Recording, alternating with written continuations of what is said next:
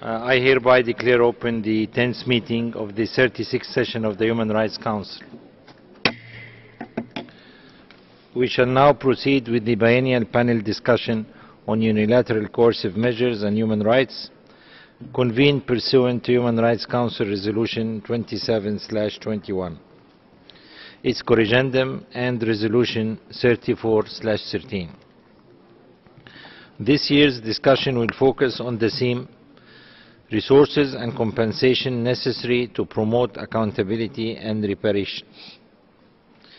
It is my honor to welcome Ms. Peggy Hicks, Director of the Thematic Engagement, Special Procedures and Right to Development Division at the Office of the United Nations High Commissioner for Human Rights, who will deliver an opening statement.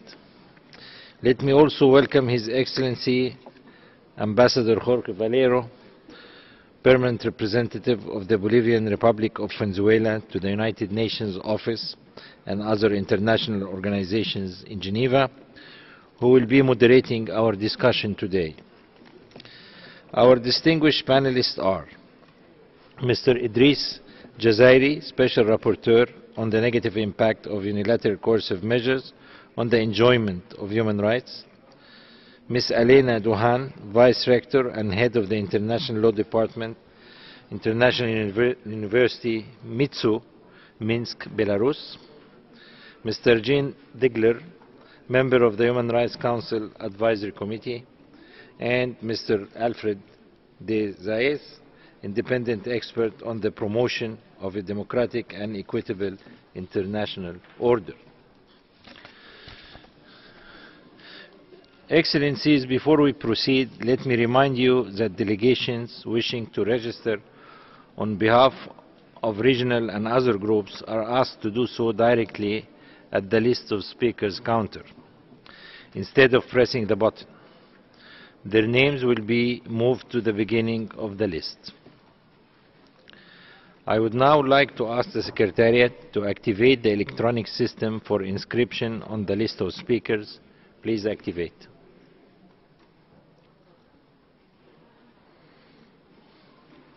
You have one minute to inscribe on the list, please.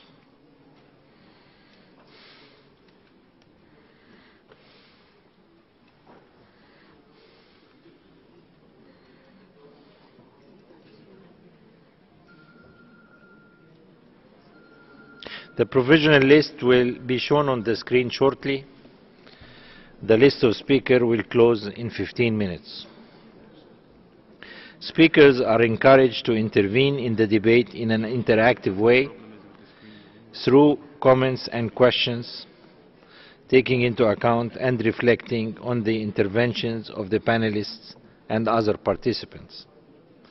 The total time of the panel discussion being limited to three hours, all interventions should be no, no more than two minutes.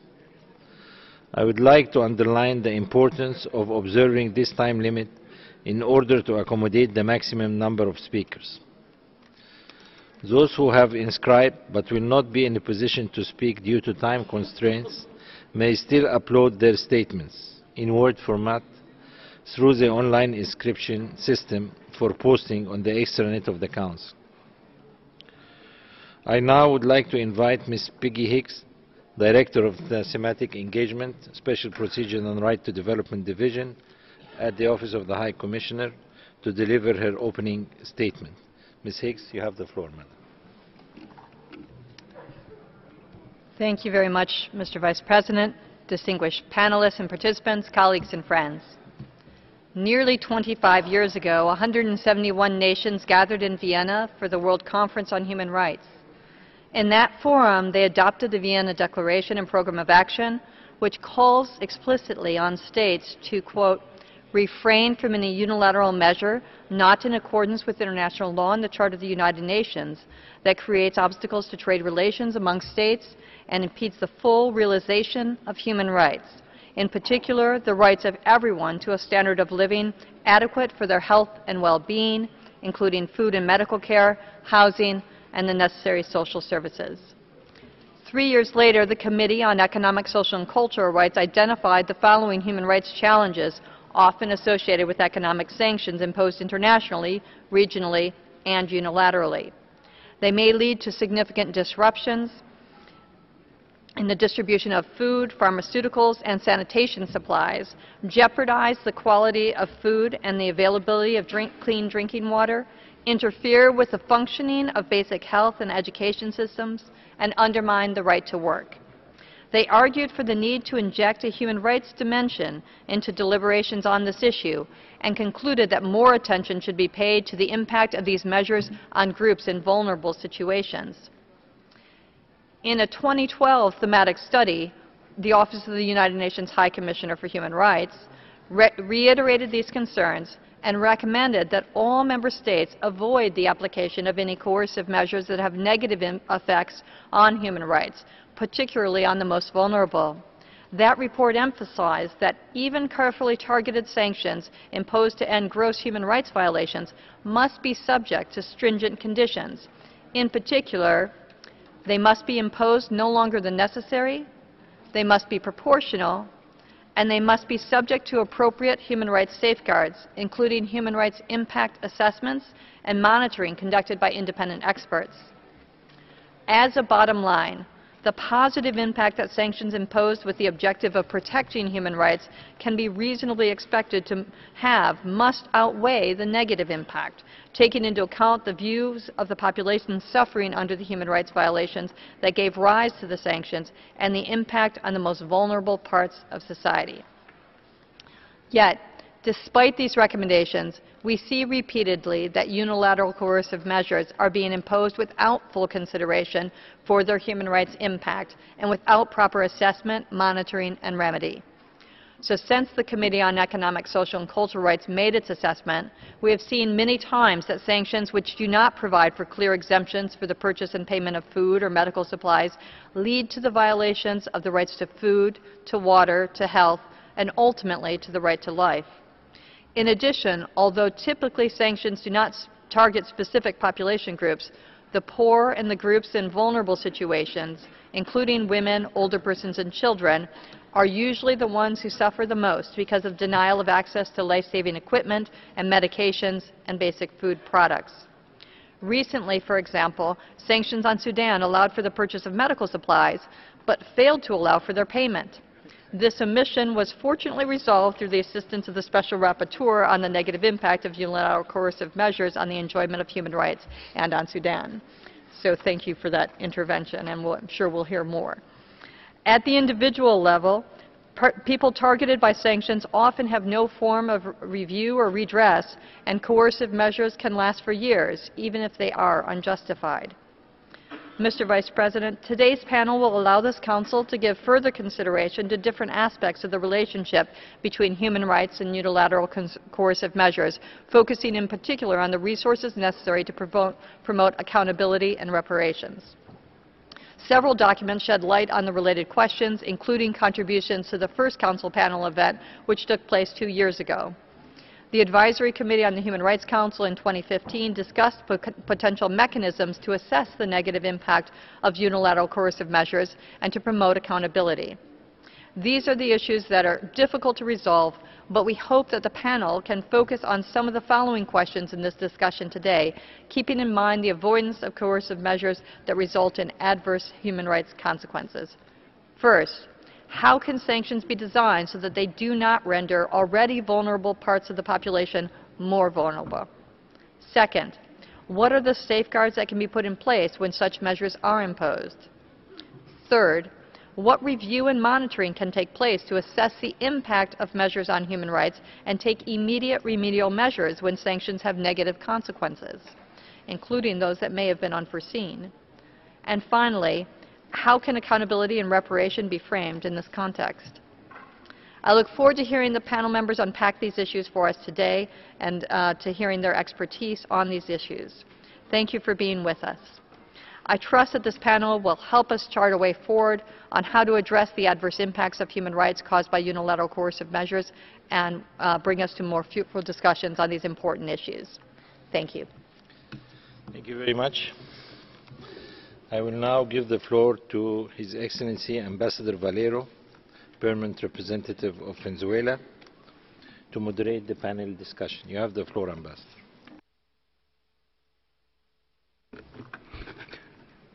Gracias, Vicepresidente. Su Excelencia, Embajador Ramadán.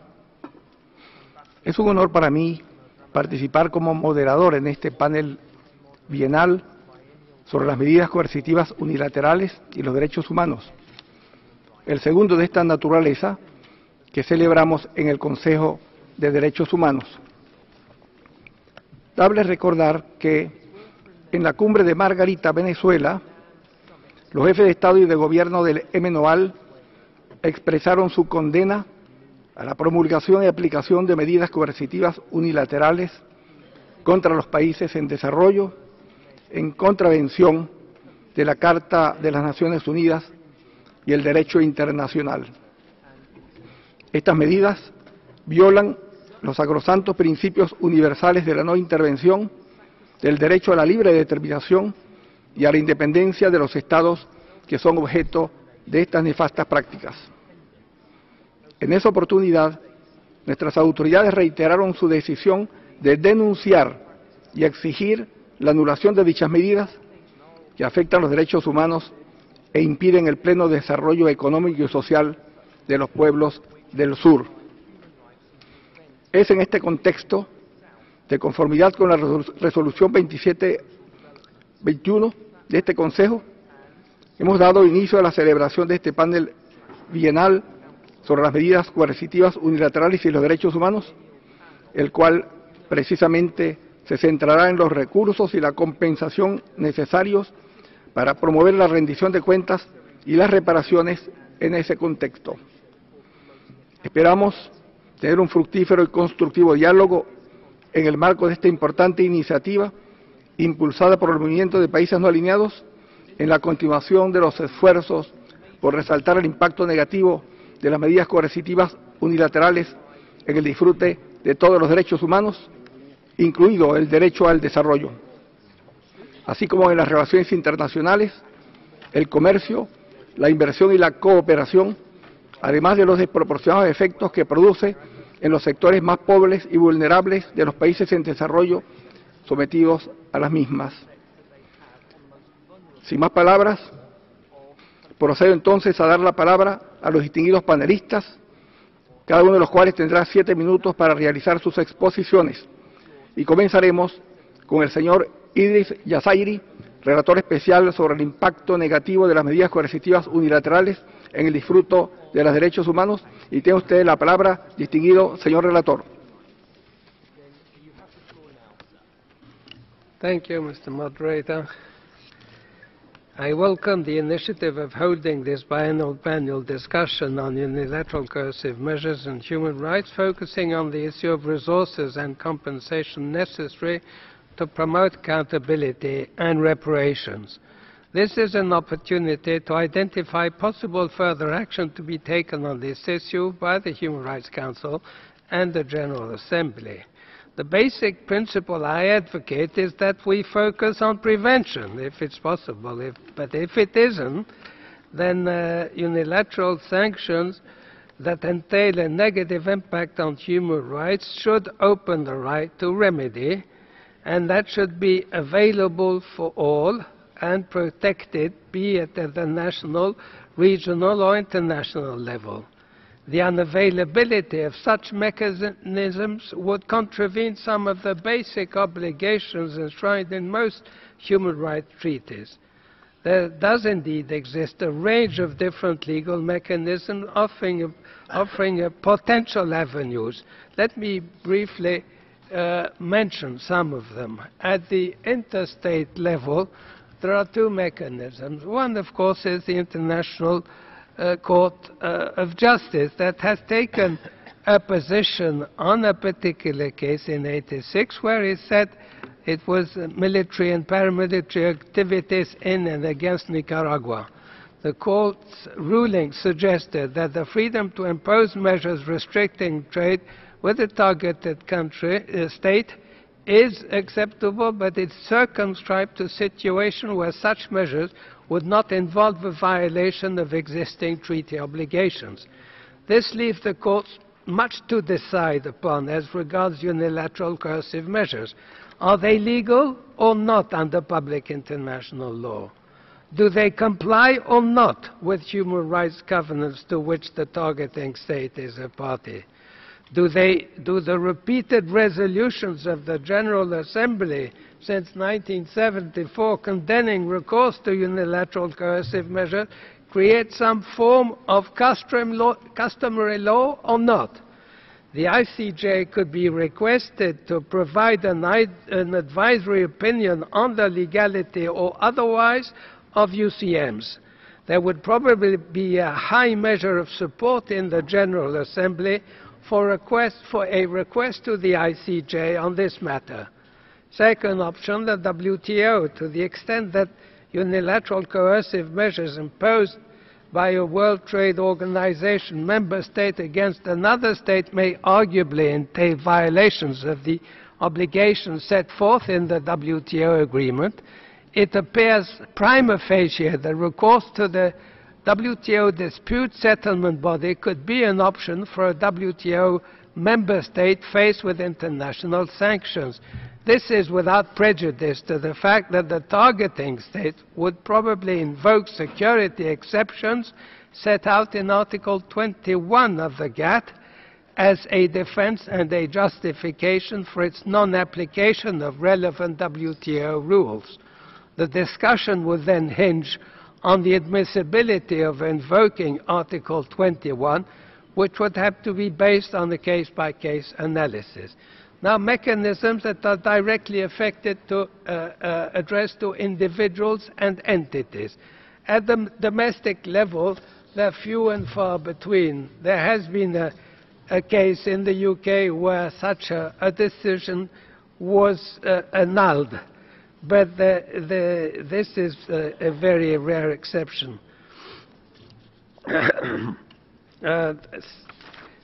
at the regional, uh, there are also regional mechanisms, whether under the EU or under the Council of Europe.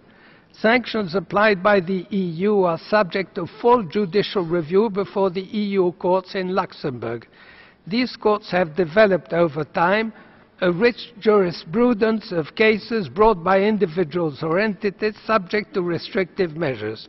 In some cases, the applicants have actually obtained delisting, even if the proportion of successful cases remains very low. What remains unsettled is whether individuals or entities found to have been unlawfully targeted could be awarded damages by the court.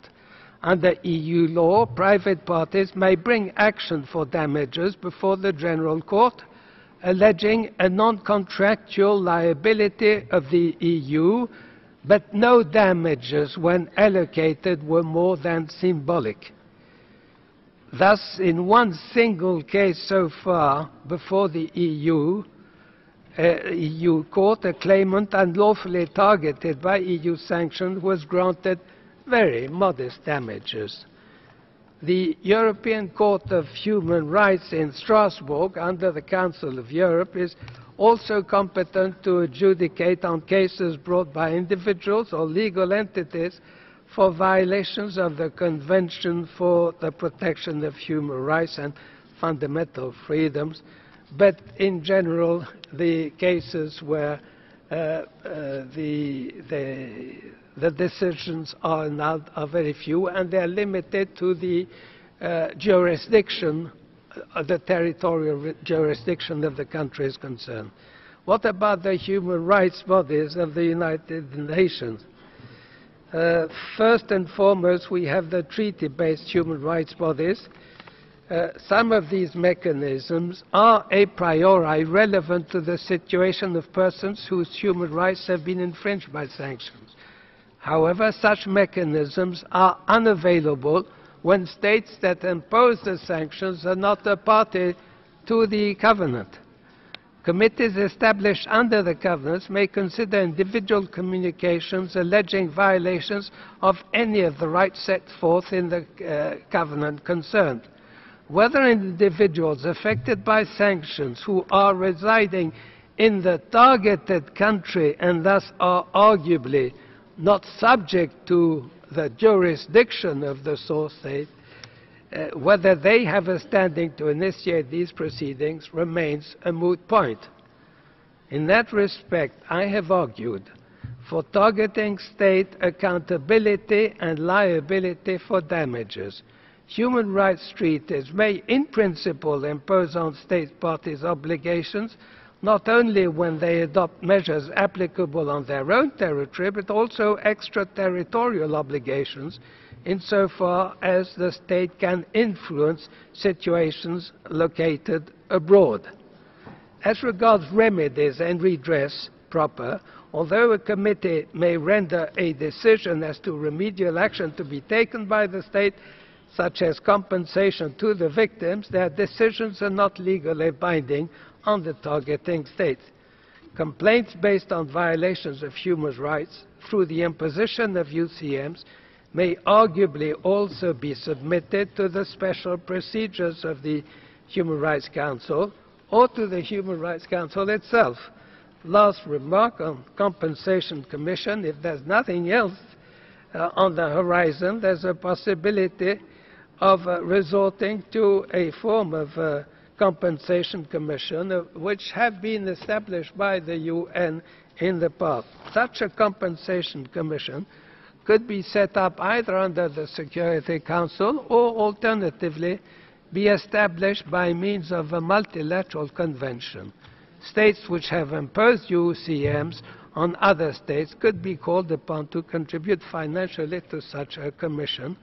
Uh, this idea of a compensation commission was got a lot of support this morning and might therefore need to be further investigated. I thank you, Mr. Moderator.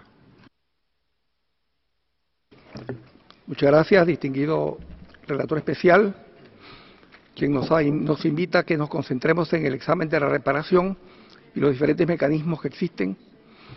Nos propone la posibilidad de que los Estados asuman la responsabilidad por la reparación y nos sugiere una idea muy interesante, cuál es la creación de una comisión de indemnizaciones y de reparación.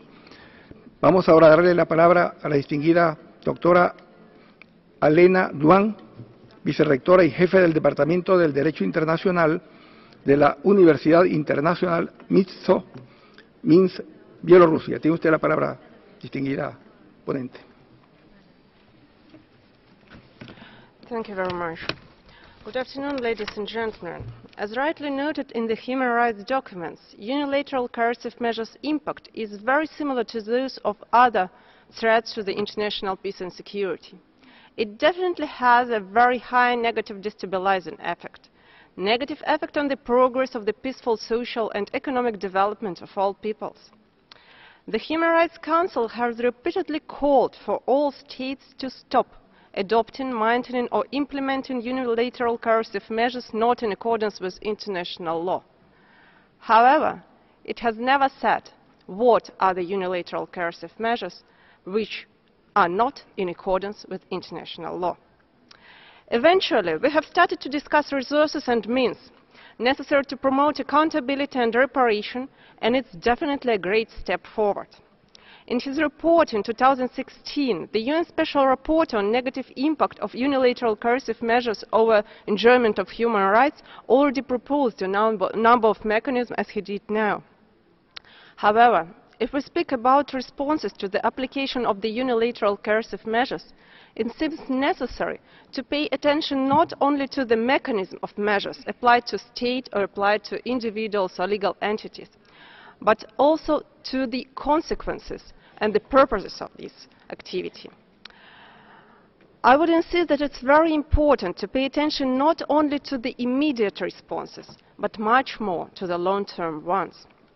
If we speak about immediate responses to measures taken against states, it's necessary first to stop adopting, maintaining or implementing unilateral coercive measures not in accordance with international law, as called for by the Human Rights Council in reality. Second, take into account that quite a lot of cases of application of pressure over states comes from the situation when states can't agree about the facts it's necessary to reactivate the use of the fact-finding mechanisms existing within the United Nations. It's also necessary to use actively human rights special procedures, as well as procedures already existing within the human rights mechanisms. As concerns immediate responses against unilateral coercive measures targeting individuals or legal entities, the first place shall be taken by the domestic uh, courts. An individual or legal entity shall have a right to turn to the domestic courts either of the habitual residence or registration or the court of targeting states. This mechanism will provide a possibility to assess legality of the activity of the targeted individual and decide on the criminal or administrative penalty if he is recognized guilty. However, if a person is recognized non-guilty, any measures applied shall be lifted immediately. In both situations, targeted natural or legal entity shall stand trial to be punished for illegal activity if it's proven that there was an illegal activity, or recognized non-guilty with the observance of all procedural guarantees the individual or legal entity shall definitely have the possibility to apply to other international mechanisms, already existing ones, both at the universal and at the regional level. However, if, if, we intend not only to face consequences, but also to prevent violations from happening, we need to focus much more on the long-term solutions. Long-term responses to any unilateral coercive measures shall inevitably include drafting and fixing the definition of unilateral coercive measures, as well as criteria upon which activity can be viewed as an illegal one. That means can be viewed as a unilateral coercive measures. It's impossible to speak about accountability and compensation for activity which is not qualified as illegal. Ex absence of definition opened the way for numerous misuses.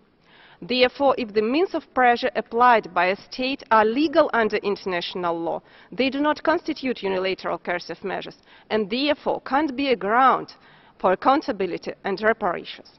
Vice versa. If a state or IGO applies measures which are illegal, which they are the unilateral coercive measures, and a state or IGO shall be held responsible, and here we will speak about reparations.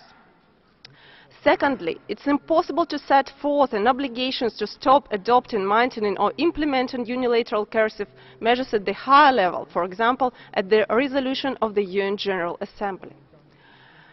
Thirdly, when we speak about measures or means of pressure applied by one state to another, it often happens in the situation of discrepancies or disputes between these states.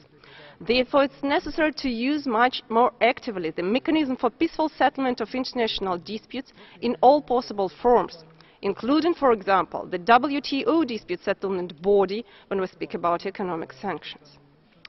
If we speak about resources necessary to promote accountability and reparation, we shan't mean only financial or any other economic means. All immediate mechanisms mentioned in the presentation provide for the means of compensation as well as control over their observance one way or another. The problem, however, will hardly disappear if we do only this. If we seek to switch from compensating in restricted cases to preventive approach, it's necessary to change the system as a whole. Meanwhile, neither the registration of steps which may be or may not be the unilateral coercive measures, nor the establishment of additional quasi-judicial board which will qualify measures as unilateral coercive measures or anything else, nor the compensation commission by itself will solve the problem. It's necessary first to define the subject of our discussion, what the unilateral coercive measures are. Until we do it, we will stay much more in the sphere of philosophy rather than the sphere of law. In this case, we'll be unable to, to demand any legal means. As a starting point, I would propose here a definition.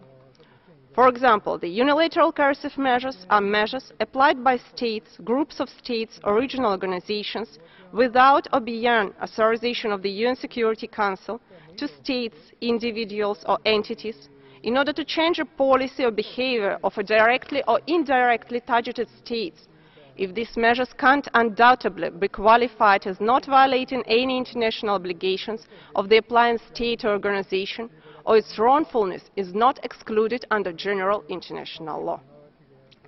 Secondly, it's necessary to amend the whole system of application of targeted sanctions to guarantee the due process. In particular, criminal or administrative process shall be started immediately by the targeting state with simultaneous submission of information to the UN Security Council or the European Council in the case of regional action. In this case, targeted sanctions shall be lifted immediately if a person is recognized unguilty. However, if a person is recognized guilty, he will face the criminal responsibility. In both cases, we won't need any targeted sanctions anymore. Thirdly, if the unilateral coercive measures are already applied, the targeted state, natural or legal entity shall be able to apply to above-mentioned bodies, both, bodies, both national or international, for immediate responses and compensation. Corresponding bodies will need to define whether measures resulted, resulted from the alleged infringement of rights are the unilateral coercive measures. However, in this case, we will need a definition, for example, set forth in the UN General Assembly resolution. Thank you very much. Muchas gracias, eh, doctora, por su interesante exposición en la que apreciamos que uno de los aspectos centrales de su intervención consiste en precisar que hay una falta de, de definición sobre estas medidas eh, coercitivas unilaterales, que son las que abren el escape para su aplicación y propone una definición sobre estas medidas coercitivas que pueden servir de referencia, eso creo, para la adopción de resoluciones de los órganos pertinentes de las Naciones Unidas. Vamos ahora a darle la palabra al distinguido señor Jan Ziegler, quien es miembro del Comité Asesor del Consejo de Derechos Humanos. Monsieur le vice-président du Mesdames, Messieurs, je vais faire d'abord une remarque préliminaire qui d'abord, il me semble évident ce que Mme X a dit tout à l'heure, les sanctions unilatérales, quelles qu'elles soient, contre le Qatar, contre Cuba, contre l'Union soviétique, contre le Zimbabwe, violent en permanence les droits économiques, sociaux et culturels. C'est aussi la conviction que le comité, à travers ces comités consultatifs du Conseil des droits de l'homme, dont je suis le vice-président, a la même conviction à travers ses recherches, à travers le rapport qu'il a établi pour le Conseil. Toujours, je le répète sans exception, il y a violation pour la population victime du pays boycotté, mis sous sanction, de violation de ses droits économiques, sociaux et culturels et bien sûr de son droit au développement autonome. Notre comité s'est surtout préoccupé de savoir comment fonctionnent les sanctions unilatérales, comment elles elle s'articule techniquement. Et nous avons trouvé, nous l'avons dit dans notre rapport, que les sanctions agissent sur trois niveaux en permanence, contre quel que soit le pays contre lequel elles, euh, se mettent en œuvre. D'abord, il y a l'attaque contre les relations extérieures du pays victime, blocus de Cuba, etc., euh, etc l'attaque contre les relations extérieures. Ensuite, il y a interférence du pays qui utilise ces sanctions dans la politique intérieure, économique, sociale, politique intérieure du pays victime. Et troisièmement, il y a déclenchement chaque fois d'une conférence, d'une campagne de presse internationale qui accompagne ces sanctions, qui justifie le pays, le gouvernement, qui déclare les sanctions, les met en œuvre et qui en même temps délégitime évidemment le pays agresseur. C'est les trois niveaux que nous avons constatés dans n'importe quel cas examiné. Et ces cas, comme vous le savez, sont très nombreux, sont divers et touchent des victimes différentes. Pour articuler ces trois niveaux, cette triple arme euh, de la sanction, je prends un exemple qui est un exemple d'actualité, celui du Venezuela.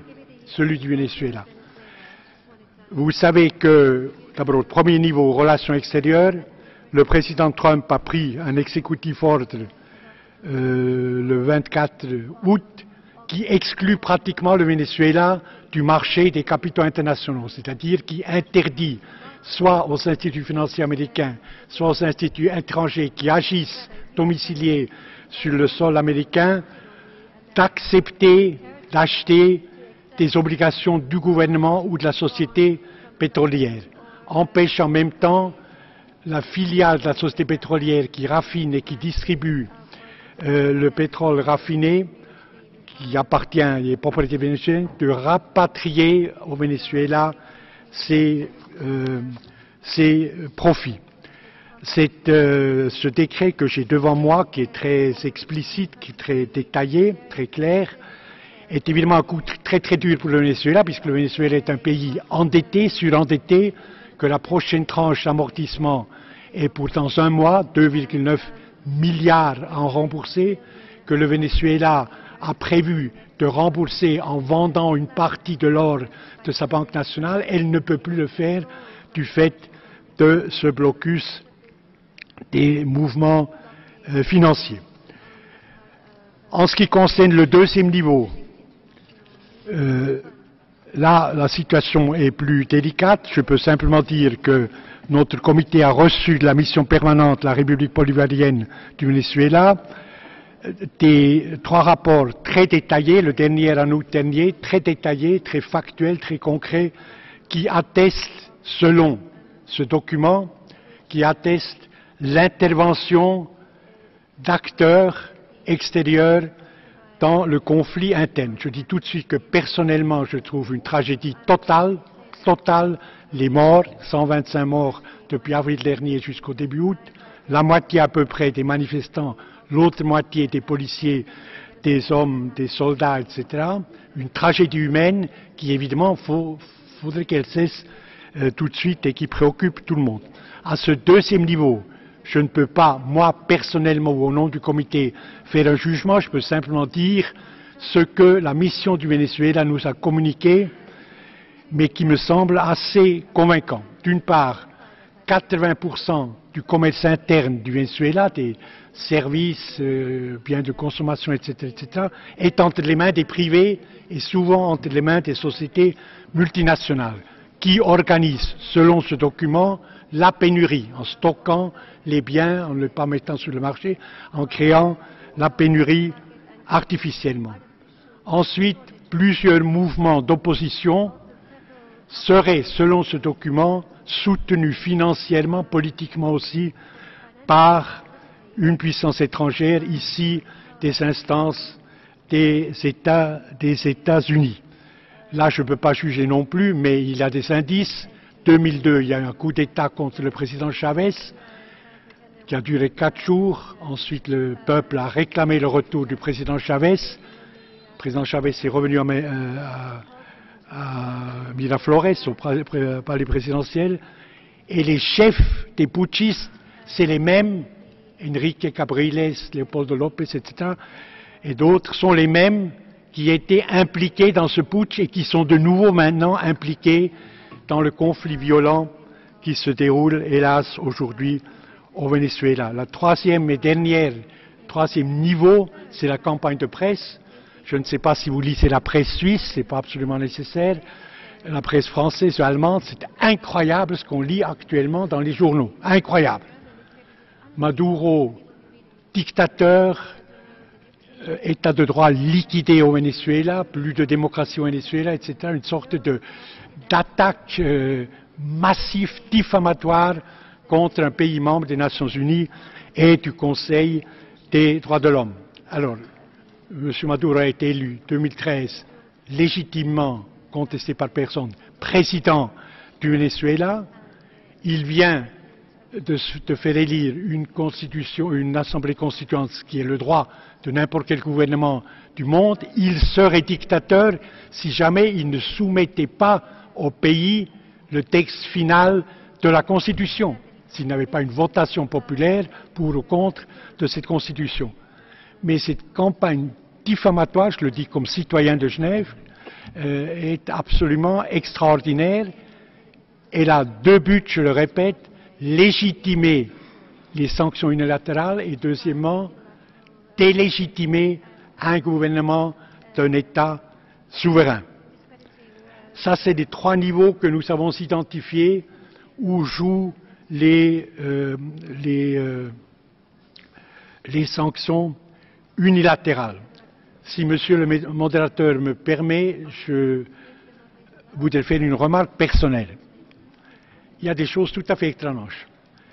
Euh, ici, dans cette maison, à 100 mètres d'ici, il y a la bibliothèque des Nations Unies, qui est une bibliothèque formidable, qui est liée à la bibliothèque du Congrès américain.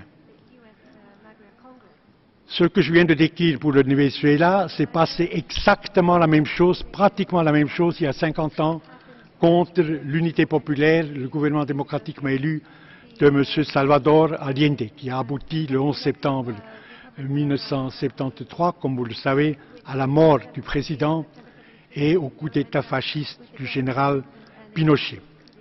Or, les États-Unis d'Amérique sont une grande et vivante démocratie que j'admire beaucoup. 22 citoyens américains sont morts dans le coup d'État chilien. Et le Sénat s'est saisi du dossier. Et pendant 18 mois, le Foreign Relations Committee du Sénat américain, en toute indépendance, avec des questions dures, avec une volonté d'enquête impitoyable, a interrogé M. Kissinger et interrogé chacune des 40 multinationales, notamment d'origine américaine, qui ont été, qui ont été les instruments de l'attaque contre le Chili populaire aux trois niveaux que je viens de le dire.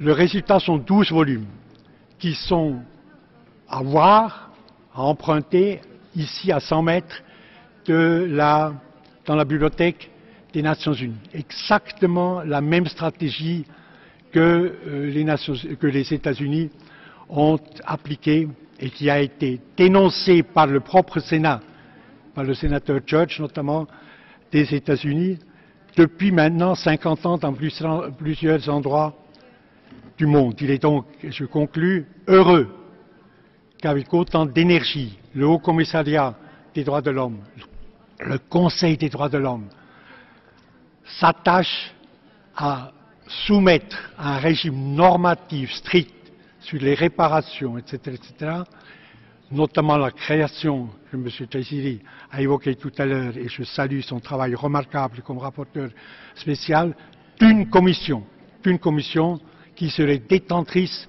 de ces normativités normales qui doit mettre fin, une fois pour toutes, aux sanctions unilatérales qu'un État peut librement décider d'infliger à un autre. Je vous remercie.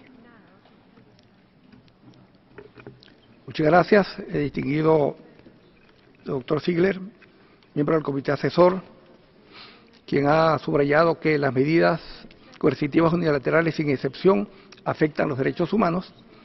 Y ya en este caso, permítame retornar a mi condición de representante permanente de Venezuela, eh, en cuyo caso quiero agradecerle al distinguido doctor Ziegler por haber hecho referencia con tan abundante información al caso Venezuela, en donde, como él lo ha explicado, se demuestra que la campaña internacional que se desarrolla contra mi país está destinada a justificar la aplicación de medidas unilaterales que están afectando, sin duda alguna, la calidad de vida de nuestra gente. Ahora quisiera darle la palabra al distinguido doctor Alfred Sayas, quien es experto independiente sobre la promoción de un orden internacional democrático y equitativo. Muchas gracias, embajador Valero. Distinguished Chair, Excellencies, colleagues, ladies and gentlemen, a democratic and equitable international order is one in which people are freely able to determine their political status, able to pursue their economic, social, and cultural development with dignity, where peoples and nations have sovereignty over their natural, natural resources uh, where individuals are not harmed by power hierarchies, the inequitable distribution of wealth, and globalization. The imposition of unilateral coercive measures threaten the realization of a democratic and equitable international order because, as I noted already in my 2013 report to the General Assembly, these measures have been shown to cause immense harm to the world's most vulnerable populations while granting disproportionate leverage to the powerful. As we ourselves can attest, in an interconnected and unsteady world, the unilateral actions of a single state can negatively impact the realization of rights across the globe.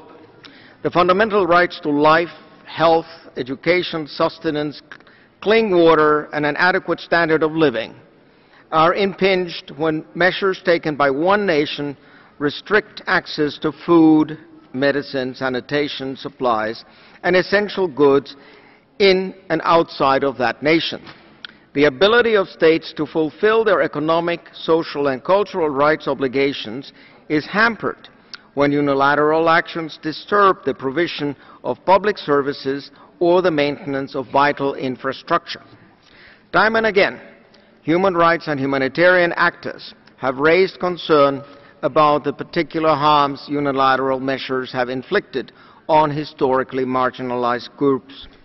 This is why such measures have been condemned by a majority of states on a regular basis and in a variety of international fora. Consider the fact that 23 resolutions of the General Assembly have denounced as illegal the unilateral United States embargo or blockade of Cuba.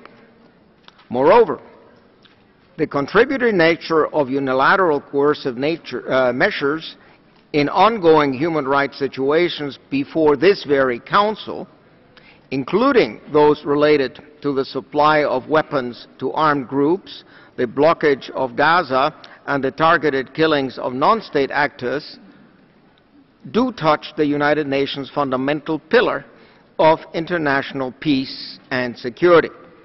International stakeholders, academics, and uh, civil society have pointed out that the imposition of unilateral coercive measures runs contrary to foundational General Assembly resolutions, most notably Resolution 2625 regarding friendly relations between states.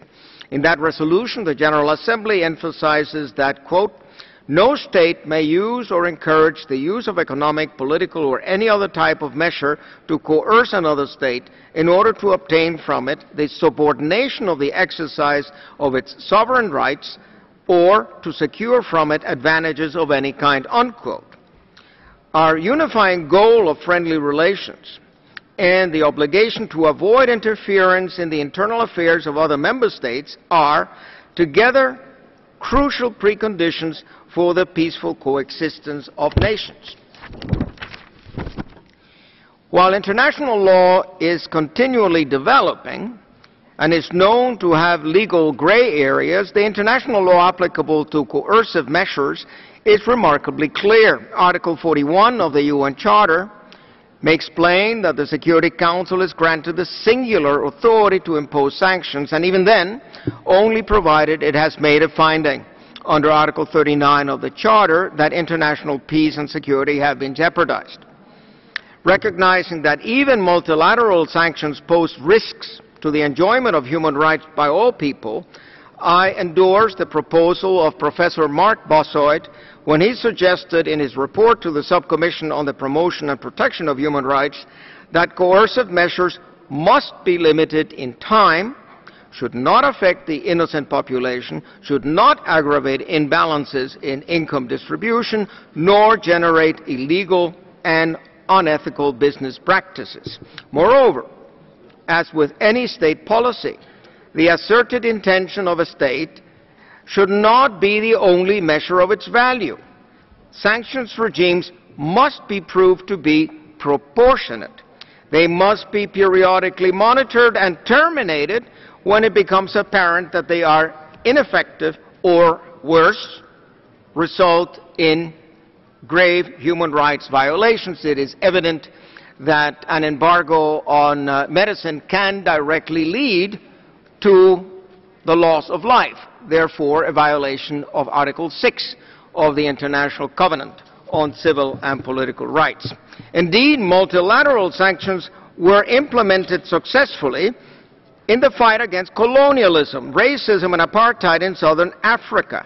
Similarly, a multilaterally agreed we weapons embargo may be both legal and effective when appropriately aimed at promoting peace and promoting diplomatic solutions to violence. With this in mind, in situations of conflict, weapons embargoes would therefore be imposed on all warring parties, while, at the same time, the international community actively works toward negotiations and a return to peace in good faith. I applaud the Special Rapporteur on Unilateral Coercive Measures, Idriss Jazairy, and many other rapporteurs who have already addressed issues of unilateral coercive measures. I applaud academics and members of civil society organizations who have consistently called on states to assess the human rights harms caused by unilateral regimes. I recommend that such harms be further exposed in the context of the Council's special procedures. They should be raised in the treaty body's individual complaints mechanisms of the uh, Human uh, Rights Committee, of the Committee on Economic and Social uh, Rights, and debated in the context of the uh, Universal Periodic Review. In addition, the as of yet underutilized interstate complaints procedure of the treaty bodies, Article 41 of the Covenant on Civil and Political Rights, may prove useful in cases where doing so could facilitate negotiation and the friendly settlement of disputes. Finally, the accountability framework for harms caused by unilateral coercive measures must be developed. Where sanctions have resulted in famine, conflict, or mass migration, the obligation to account for and repair the violation naturally follows. Frustratingly, however, the political will to create and enforce this necessary framework remains lacking. Cognizant of this troublesome lacuna, I call on member states of the Human Rights Council to collaborate towards the development of mechanisms which will guarantee recourse and reparations for communities that suffer as a result of coercive actions taken by individual states. In a globalized world, unchecked coercive measures will leave countless collateral victims. The counter approach to, of multilateralism, both in evaluating the legality and the impact of sanctions, is, in my opinion, a more democratic and equitable way forward. Allow me to recall my 2013, or rather, first the uh, 2014 workshop uh, hosted by the Office of the High Commissioner for Human Rights, and my 2013 report to the Council that reports thereon. In that uh, workshop, uh, the uh, participants uh, rejected unilateral uh, measures uh, and referred to the Vienna Declaration of, and Program of Action and to the General Comment number 8 of the Committee on Economic, Social and Cultural Rights, which specifically condemn unilateral uh, coercive measures because of the serious negative uh, impacts on the human rights of the peoples concerned. I thank you. Muchas gracias, eh, doctor Alfredo Sayas, quien nos ha puntualizado que las medidas coercitivas unilaterales dan más poder a los poderosos y atentan en contra de los derechos humanos. Nos ha dicho también que estas medidas han sido particularmente condenadas en los casos de Cuba y Gaza, porque han sido rechazadas por los órganos pertinentes de las Naciones Unidas, que están reñidas estas medidas con las resoluciones básicas, resoluciones fundamentales adoptadas por la Asamblea General. Ahora quisiera darle, pasarle la palabra a quien corresponde en esta ocasión, seguir dirigiendo nuestro debate, que es el distinguido vicepresidente, embajador Arm Ramadán.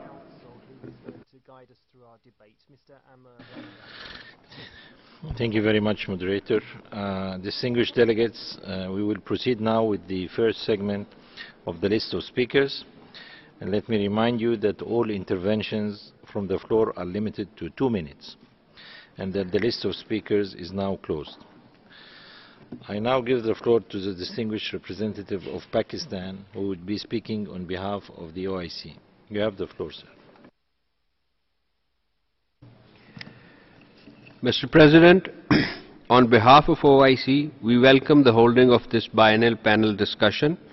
This is an important subject before, because, because of such measures adversely affect the, uh, their impact on human rights. We are deeply alarmed by disproportionate and indiscriminate human costs of unilateral sanctions and their negative effects on the civilian population of the targeted states, in particular those most vulnerable, women and children, often the unintended but eventual targets. Surely hitting the weakest cannot be a noble objective. Equally, unilateral coercive measures become, became, become tools in the hands of the powerful and prevent the full realization of economic and social development of nations while also affecting the full realization of human rights. They also impinge on effective implementation of the Declaration on the Right to Development. The, the OIC states are of the view that remedies, compensations and redress at the United Na- Nations level should be provided to those who have been affected and their rights have been violated by unilateral measures. We would like the panelists to elaborate on what, in their view, are the possible mechanisms to ensure the availability of efficient remedies and redress for victims of unilateral coercive measures, especially when these measures have a direct impact on the core basis necessities of a large population, including water, health, children's education, and most of all, seriously undermine the human dignity. Thank you. Thank you. Thanks to you. Uh, next is Tunisia on behalf of the African Group. Thank you, Mr. Vice President. I have the honor to deliver this statement on behalf of the African Group. The African Group welcomes the holding of this panel discussion on the unilateral coercive measures and human rights in accordance with the Human Rights Council Resolution 27/21, its corrigendum, and Resolution 34/13 on the theme resource and compensation necessary to promote accountability and reparations. We would like to thank the Office, the Office of the High Commissioner for the opening remarks and the panelists for their comprehensive presentation and valuable contributions. Imposing unilateral coercive measures by some states against some other states, especially developing and, and these developed countries, are contrary to the international law and norms and have adverse impacts to the enjoyment of the human rights. The Vienna Declaration and Programme of Actions calls upon states to refrain from any unilateral measures not in accordance with international law and Charter of the United Nations that creates obstacles to trade relations among states and im- impedes the full reali- realizations of the human rights set forth in the Universal Declaration of Human Rights and international human rights instruments. The African group be- believes that it's essential for the states that, if affected by unilateral coercive measures, to be compensated at the international level, and we would like to ask the panelists what is the appropriate and effective me- mechanism in their views to promote accountability and reparations to the victims of the unilateral coercive measures. Thank you. I thank the delegation of Tunisia, and I now give the floor to Egypt, speaking on behalf of the Arab Group. شكرا سيد نائب الرئيس ألقي هذا البيان نيابة عن مجموعة الدول الأعضاء في جامعة الدول العربية ترحب المجموعة العربية بحلقة النقاش والسادة المتحدثين خلالها وتشكرهم على العروض القيمة التي قدموها. إن الإجراءات الأحادية القصرية تصادر حزمة كبيرة من حقوق الإنسان في قطاعات الصحة والتعليم والنقل والخدمات والتنمية. وتعيق تنفيذ التزامات الدول الأطراف التي نصت عليها الاتفاقيات والصكوك الدولية. وتلقي بكاهل المعاناة على الشرائح الهشة في المجتمع كالنساء والأطفال وكبار السن. كما يترتب عليها معاناة إضافية للطبقات الاقتصادية والاجتماعية الأضعف. لقد تحملت دول العالم مسؤولية تحقيق أهداف التنمية المستدامة بحلول العام 2030 للارتقاء بحزمة الحقوق والخدمات التي ينعم بها الإنسان والتي تهدف إلى ما هو أبعد من ذلك من حماية للبيئة والأحياء. وتعهدت بأنها لن تترك أحدا خلف الركب.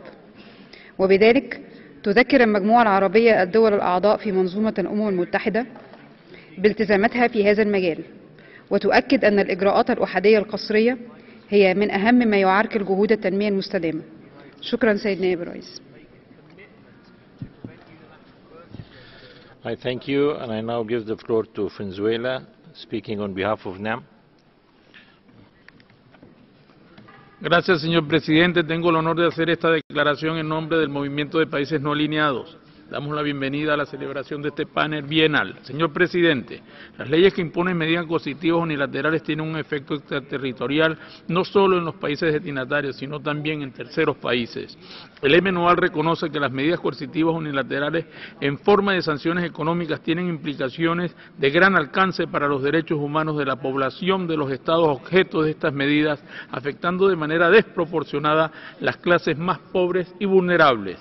Por lo tanto, reiteramos que la adopción de medidas coercitivas unilaterales por cualquier causa o consideración contra países en desarrollo es contraria al derecho internacional, al derecho de los derechos humanos y a los derechos básicos de los pueblos, como el derecho a la vida, el derecho a la salud y a la atención médica y el derecho a un nivel de vida adecuado. Señor presidente, desafortunadamente, a pesar de las resoluciones adoptadas por la Asamblea General, el Consejo de Derechos Humanos, la extinta Comisión de Derechos Humanos y en las conferencias de las Naciones Unidas, y contraria a las normas de derecho internacional y de la Carta, se siguen promulgando medidas coercitivas unilaterales con todas sus consecuencias negativas para las actividades sociales y humanitarias y para el desarrollo económico y social de los países en desarrollo.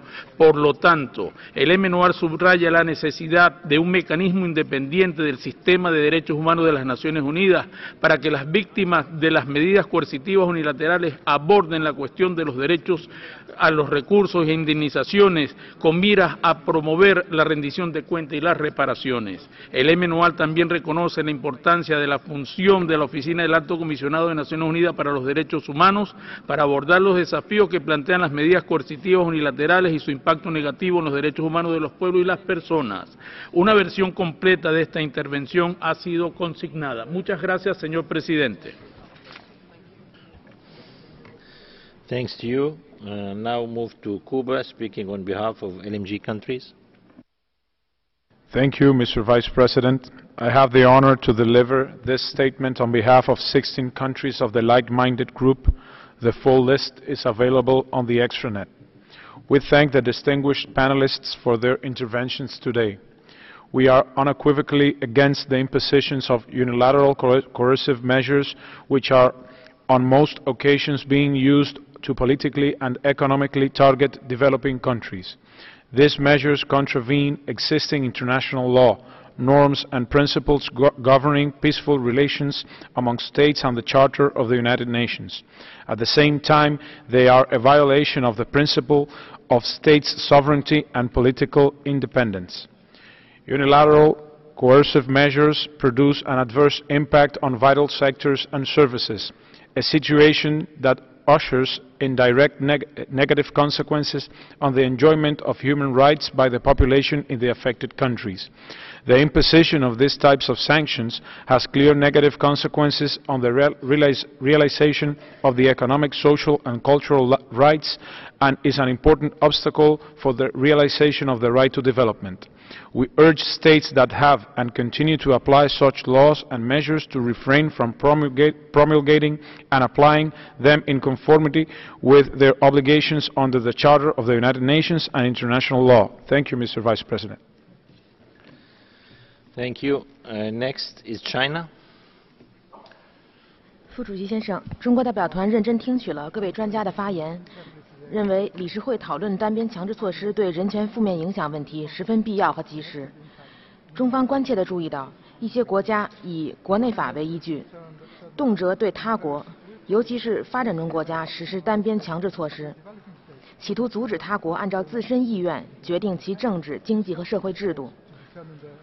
不仅违反会员国主权平等原则，也对当事国民众的人权产生严重负面影响。中方反对在安理会框架外采取单边强制措施，包括实施所谓长臂管辖，因为这在国际法上没有任何依据。我们敦促有关国家停止采取损害联合国宪章权威、影响当事国经济社会发展、阻碍当事国民众享有人权的单边强制措施，切实减少和消除单边强制措施造成的负面影响。主席先生、副主席先生，中方鼓励单边强制措施特别报告员继续就如何有效预防、减少和补救单边强制措施对人权的不利影响言提意见。也希望有关国家采取切实行动，支持报告员工作。中方还想请问促进民主和公平国际秩序独立专家，从您的授权角度看，单边强制措施对建立民主和公平的国际秩序有没有负面影响？如何消除这些影响，推动国际人权事业健康发展？谢谢副主席先生。Thank you. Uh, next is Bolivia. Jayaya, hermano vicepresidente. Agradecemos a los panelistas por sus importantes aportes a esta discusión tan necesaria y urgente dentro del Consejo de Derechos Humanos. Nos sumamos a la intervención realizada a nombre del NAM. Quiero recordar que la resolución de la Asamblea General 71-193 condena la inclusión de Estados miembros en listas unilaterales bajo falsos pretextos contrarios al derecho internacional y a la Carta de Naciones Unidas y considera que dichas listas son instrumentos de presión política o económica contra los Estados miembros, en particular contra los países en desarrollo motivo de doble necesidad para estudiar y profundizar la rendición de cuentas y la reparación. La ilegalidad de las medidas coercitivas unilaterales y sus efectos negativos es una realidad fáctica que de modo injusto, desproporcionado y arbitrario afecta a niños, mujeres, personas con discapacidad, minorías, pueblos indígenas y campesinos, entre otros. Paradójicamente, a poblaciones que necesitan mayor atención de los Estados y de este Consejo. Por esta razón, consideramos que los efectos negativos presentes y futuros deberían ser considerados en las reparaciones a las víctimas por parte de los Estados que promuevan estas medidas. Consideramos importante centrar nuestra atención en las cuestiones de los recursos y la compensación y, de acuerdo con los mandatos, examinar y evaluar los diversos mecanismos de que disponen las víctimas de medidas coercitivas unilaterales. Con relación a la reparación a las víctimas por parte de los perpetradores, quisiéramos preguntar qué mecanismos serían los más pertinentes para promover la creación de un órgano que cumpla este rol a fin de evitar que su creación sea vetada por aquellos países que imponen estas medidas y niegan sus efectos nocivos a los derechos humanos. Gracias, vicepresidente. Thanks to you. Uh, next is the delegation of Iran. Mr. Vice President, at the outset, we would like to thank distinguished panelists for presenting their valuable comments and views. Sanctions and unilateral coercive measures have adversely impacted the people both in targeted and origin communities, which resulted in violation of human rights. Although this right has arguably acknowledged in theory and principle in different documents, it has not been recognized by, by those who are responsible for these measures and frequently ignored or set aside in practice. It is upon the international community to consider the coercive measures as violation of human rights and ensure the accountability of those responsible for human rights violations. We are also deeply concerned about extraterritoriality of sanctions which disregards rules and jurisdiction of the states. As the Special Rapporteur has indicated in his latest report, same countries which apply unilateral sanctions with extraterritorial reach and effects are the same ones which generally oppose the extraterritorial character of the state obligations under the covenants, in particular, International Covenant on Economic, Social and Cultural Rights. In this respect, it is noteworthy that the Committee on Economic, Social and Cultural Rights acknowledges that as a matter of law and logic, the, the, imposition of sanctions on a country entails at least partial responsibility of targeting a state for the situation within the targeted country. In conclusion, we reiterate on the need to recognize the UCM as violation of human rights. In this vein, we ask the Council to consider the need for drafting of a declaration on abolition of unilateral coercive measures. I thank you. Thank you. Next is the delegation of Egypt. شكرا سيد نائب الرئيس يرحب وفد مصر بحلقة النقاش حول التدابير الأحادية القصرية ويود أن يتقدم بالشكر للمتحدثين خلالها على العروض والمعلومات القيمة التي قدموها ونشدد في هذا السياق على أن التدابير الأحادية القصرية تتعارض مع القانون الدولي والقانون الدولي لحقوق الإنسان وميثاق الأمم المتحدة والمبادئ المنظمة للعلاقات السلمية بين الدول ونعرب عن بالغ القلق لاستمرار فرض الإجراءات الأحادية القصرية كوسيلة للضغط السياسي أو الاقتصادي بما في ذلك من خلال استغلال السلع الأساسية مثل الغذاء والأدوية. ونؤكد على موقفنا الرافض لاتخاذ تدابير أحادية من خلال سن قوانين تطبق خارج حدود الإقليمية للدول كما نشدد على حق كافة الشعوب في تقرير مصيرها. إننا نتابع عن كتب النقاش الجاري حول أهمية تطوير آلية مستقلة في إطار الأمم المتحدة تعنى بتعويض الضحايا وتعزيز المساءلة وجبر الضرر الذي ترتب على حرمان الشعوب من العديد من حقوقها الأساسية بسبب تلك الإجراءات واستحداث سجل مركزي لتجميع وتوثيق تلك التدابير ونشيد بالجهد الذي يبذله المقرر الخاص بأثر التدابير الأحادية القصرية على التمتع بحقوق الإنسان في هذا الشأن. وختاما نحث الدول على الكف عن اعتماد أو تنفيذ أي إجراءات أحادية قصرية لا سيما تلك التي تتجاوز الحدود الإقليمية وتضع عقبات أمام العلاقات التجارية بين الدول وتعيق تمتع الشعوب بحقوقها التي كفلتها المواثيق الدولية لا سيما الحق في التنمية شكرا سيد نائب الرئيس Thank you. Next is Russian Federation. Благодарю вас, господин вице-председатель. Российская Федерация рассматривает проблематику односторонних принудительных мер как крайне важную и весьма деликатную. Хорошо известно, что международные санкции являются одним из действенных инструментов в регулировании кризисных ситуаций, имеющихся в распоряжении мирового сообщества. Исходим из того, что исключительные прерогативы по их введению обладает только Совет Безопасности ООН. Принимая решение о введении ограничительных мер, необходимо учитывать, что они должны быть соразмерны угрозам международному миру и безопасности. Нельзя допускать, чтобы они становились механизмом коллективного наказания, негативно влияли на положение населения тех или иных стран. Нередки случаи введения под внешне благовидными предлогами э, односторонних принудительных мер в обход Совета Безопасности ООН. Считаем, что подобные действия приводят к подрыву системы международных отношений и торпедируют политико-дипломатические усилия по поиску выхода из кризисных ситуаций. Такие политически мотивированные действия нарушают основные свободы и права человека, общепринятые нормы международного права. Не случайно Всемирная конференция по правам человека 1993 года призвала государства воздерживаться от любых односторонних принудительных мер, которые создают препятствия для торговых отношений между государствами и затрудняют пользование правами человека. Убеждены, что задействование односторонних санкций для решения политических проблем – путь тупиковый и контрпродуктивный.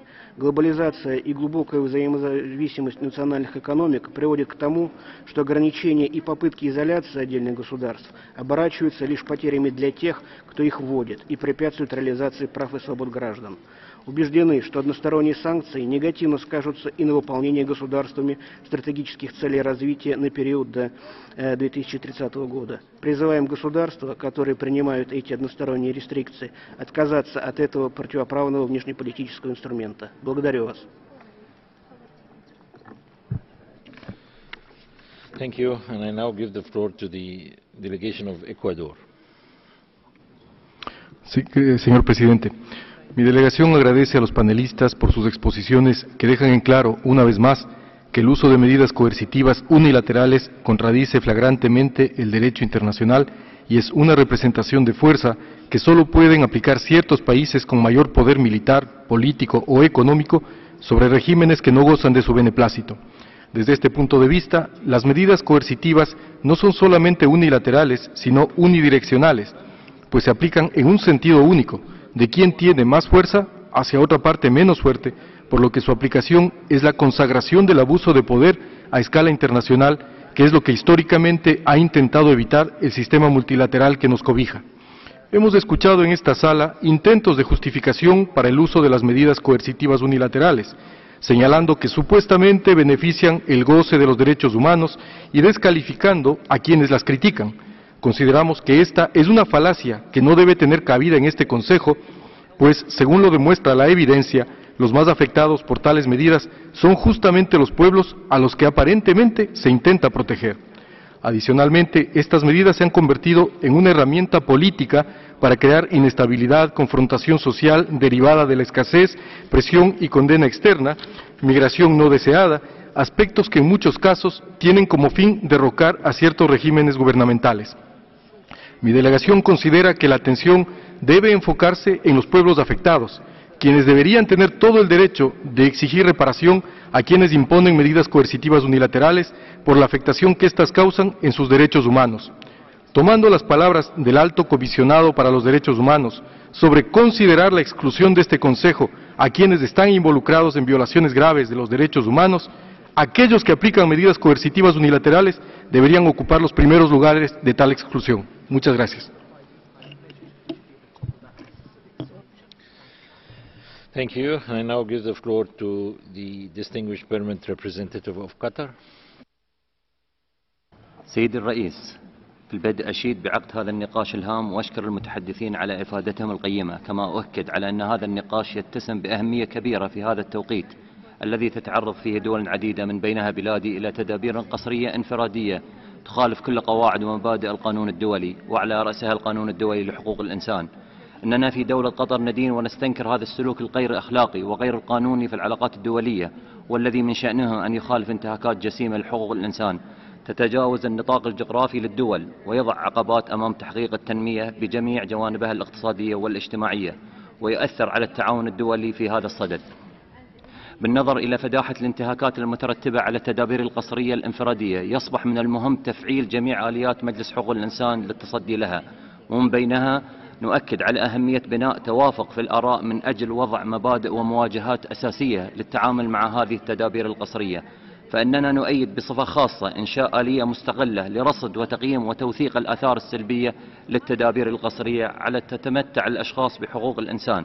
والعمل على اقتراح إجراءات عملية لمعالجة مسائل الانتصاف والتعويض بغير تعزيز المسائل وجبر الضرر. وختاما مداخلتي بالتوجه بالسؤال للسيد جان زيغلر حول تقييم التدابير التي فرضتها عدد من الدول مؤخرا على دولة قطر وتحقيق الانتصاف والتعويض. كما أتوجه بالسؤال للسيد ليفرد ديزال حول رأيه بشأن التأثير السلبي للتدابير القسرية التي اتخذت ضد دولة قطر على احترام سيادة الوطنية والسلامة الإقليمية والاستقلال السياسي وحق تقرير المصير للأزم لإقامة نظام دولي ديمقراطي ومنصف شكرا سيد الرئيس Thank you. Uh, I will now turn to the list of speakers for national human rights institutions and non-governmental organizations. We start with the national human rights institutions, and we have the National Human Rights Committee of Qatar.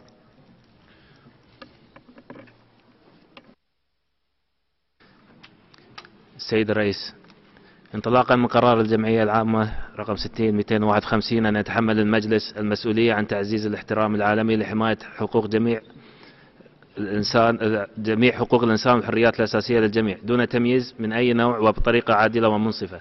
وتأكيدا على ما ورد في تقارير مقرر خاص بأن التدابير القسرية الإنفرادية تشمل على سبيل المثال لا الحصر التدابير الاقتصادية والسياسية التي تفرضها دول أو مجموعات دول لإكراه دولة أخرى على التبعية لها في ممارسة حقوقها السيادية بهدف حملها على إجراء تغيير محدد في سياساتها العامة. وهي أيضا التدابير الشاملة التي تستهدف النظام الاقتصادي أو المالي لبلد برمته. وكمثال ملموس على هذا الموضوع قامت اللجنة الوطنية لحقوق الإنسان بدولة قطر من خلال آليات الرصد واستقبال الشكاوي والتحقيق وتوافقا مع اختصاصاتها وفق مبادئ باريس. رصدت أن التدابير القسرية الأحادية التي تمارسها عدة دول ضد المواطنين القطريين أدت إلى انتهاكات للعديد من الحقوق من الحق في الإقامة والعمل والصحة والتنقل والملكية والتعليم وغيرها. ولو أخذنا على سبيل المثال فقد رصدت اللجنة الوطنية لحقوق الإنسان انتهاكات واسعة للحق في الملكية خاصة الملكية الخاصة جراء الإجراءات الأحادية التعسفية ضد مواطني دولة قطر أدت إلى منعهم من السفر أو الوصول إلى ممتلكاتهم وشركاتهم وحساباتهم واستثماراتهم أو حتى التصرف بها في الدول التي اتخذت تلك الإجراءات التعسفية ضدهم جميعا دون استثناء. وبالتالي تعرضهم لخسائر فادحة وقد قطعت أرزاق العديد منهم أو من يعمل لديهم. وسلبت أو هلكت أو ضاعت أموالهم وممتلكاتهم مما دفع بأكثر من ألف من هؤلاء المتضررين بتقديم شكاوى للجنة الوطنية وثقتها اللجنة. وقد أعلنت اللجنة عن هذه الانتهاكات في تقاريرها وقد وجدنا صعوبة في البدء بالبحث عن الموارد والآليات اللازمة لتعزيز المساءلة والتعويضات سواء عن طريق الأمم المتحدة وغيرها من المنظمات وصولا إلى توكيل مكاتب محاماة خاصة. شكرا. Thank you. Next, uh, we go to the NGO list, and we have Sidwind. Thank you, Mr. President. Honorable panelists, we appreciate your contribution. Mr. Jazairy, we would like to use this opportunity to continue our interactive dialogue in the previous biennial panel. Two years ago, in reply to our intervention, you confirmed our concern on the impact of the sanction on people of Iran who were ill and had very limited or no access to the medicine. However, at the time, we did not receive any reply on the corruption and in all sectors of the society as a result of the sanction. People in Iran still remember how the Minister of Health in 2012 complained that uh, the Central Bank of Iran did not pay the currency which was allocated for the medicine to the health ministry and instead the budget was paid for import of the cosmetic.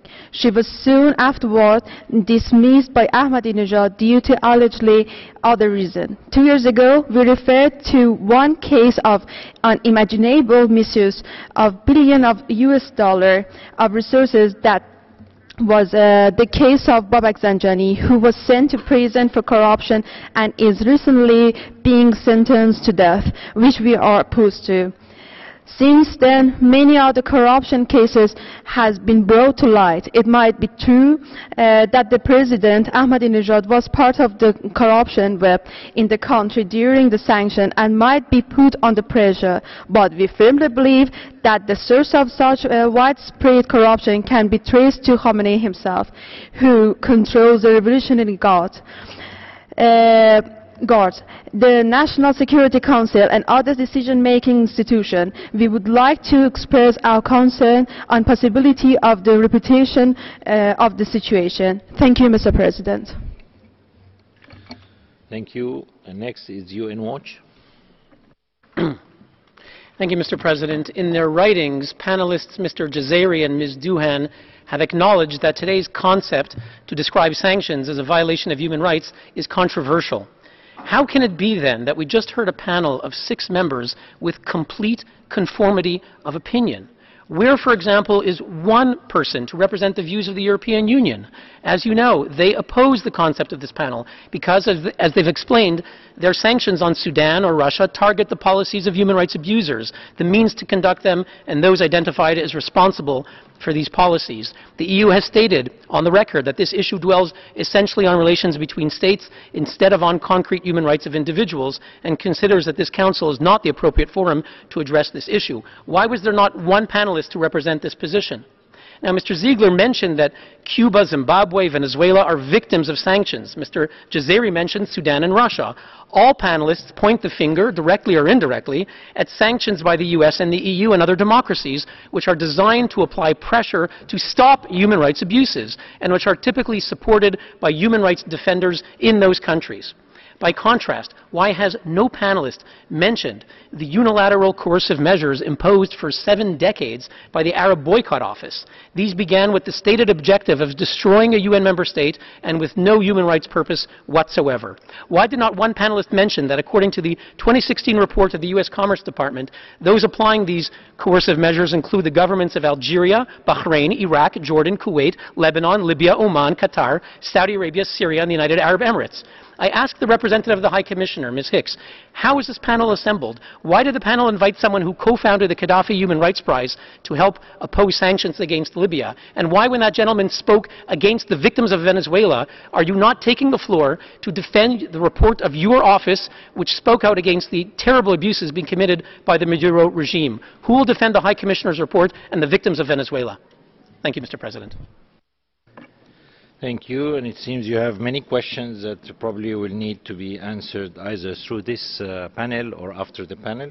And uh, I think uh, we'll now we'll uh, have exhausted now the first segment of the list of speakers, both from the states and uh, NG, uh, NGOs and HRIs, and I will now give the floor back to the moderator and panelists to answer the questions and comments from the floor.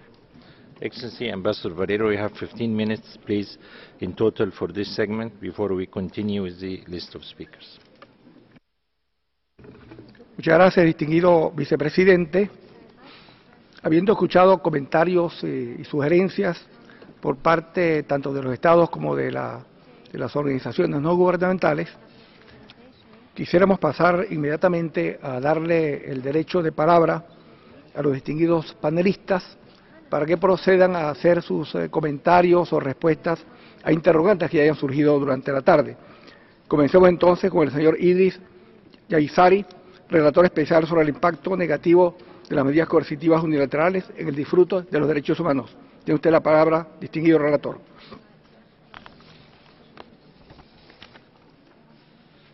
Thank you, Mr. Moderator. it's true that uh, UN diplomacy sometimes uh, uh, gets the Assembly or the Council to adopt resolutions which are a bit ambiguous. If you look at the series of resolutions which have been referred, which have referred to UCMs, you see uh, basically two categories of resolutions. The ones that were quoted uh, on the uh, Vienna Declaration and also the SDGs which prohibit the imposition of uh, uh, unilateral coercive resolutions that are contrary to international law, etc. And you have a series of uh, other resolutions, which uh, the last of which was a resolution adopted by this Council last year, Resolution 3413, saying in a clear manner resolution uh, uh, UCMs are contrary to international law. So it really is a case where in the Vienna Declaration and the SDGs everybody wanted to, to agree on a unanimous text, so they, they interpreted this sentence differently.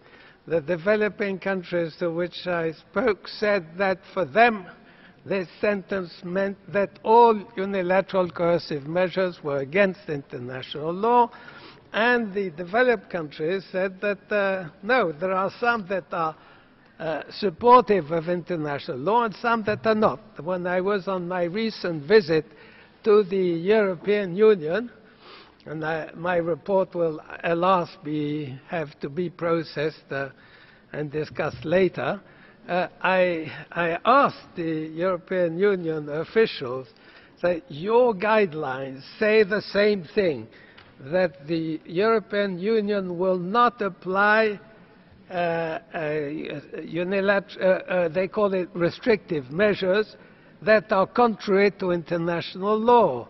Then I said, well, we need to know which ones are contrary to international law and which ones are not and I haven't gotten an answer yet.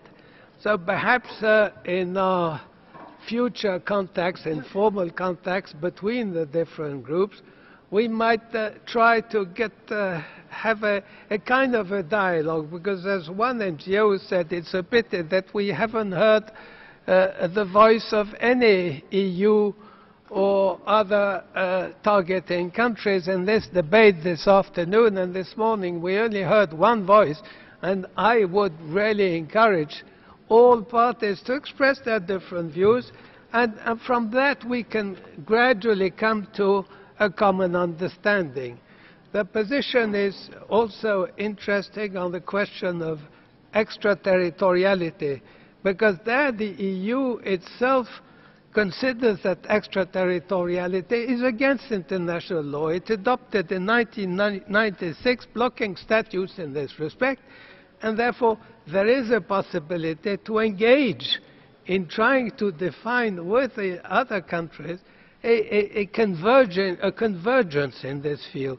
I just wanted to put emphasis on that as time is limited. But I remain available to any of you if you like to discuss this, the issue with me outside this meeting. Thank you. Muchas gracias, distinguido relator.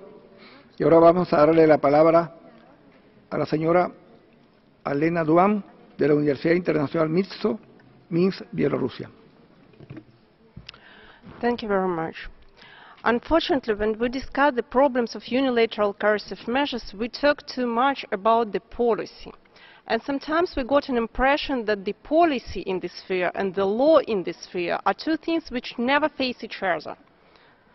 Therefore, it's necessary finally to do what the whole international system was planned to do, we need to guarantee that the rule of law is observed at the international level and it will help to, help to solve a lot of problems. For example, for the last 10 years we discussed a lot the problems how to establish the new mechanism, forgetting that already a lot of mechanisms exist. Therefore, I will repeat once again, and here I will support Mr. Jazairy, that we need to know what is legal and what is illegal and as soon as we decide what the unilateral coercive measures is, quite a lot of dispute will go, will go away. But the problem is that not everyone is ready for the discussion. The international law knows how to define legal or illegal activity. For example, if the means of pressure breach economic, humanitarian or any other obligation of states, they breach international law. If we speak about targeted sanctions, in the current form, they are definitely illegal. As far as on the first hand, they break procedural guarantees, which are the jus cogens norms. The international law also provides mechanisms for peaceful settlement of international disputes. And as we know, already in 1907, the Hague Convention outlawed the use of force as the means of settlement of international disputes. Later documents not only prohibited the use of force in general, but they also outlawed the use of pressure for political purposes. Beside the cases when these means of pressure are definitely legal, the illegality is excluded under general international law, or it, these means of pressure are authorized by the UN Security Council. We shan't forget that the illegal means do not only infringe human rights, but also in, uh, infringe the democratic legal order. They undermine the rule of law and endanger international peace and security.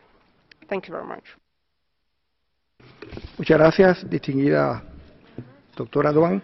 Ahora vamos a darle la palabra al señor Jan Ziegler, quien es miembro del Comité Asesor del Consejo de Derechos Humanos.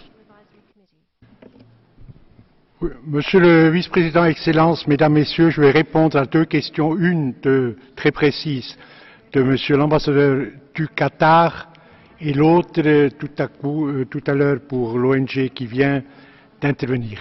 Pour, euh, en ce qui concerne le Qatar, le Qatar est sous sanction unilatérale de la part de l'Arabie saoudite et des Émirats arabes unis.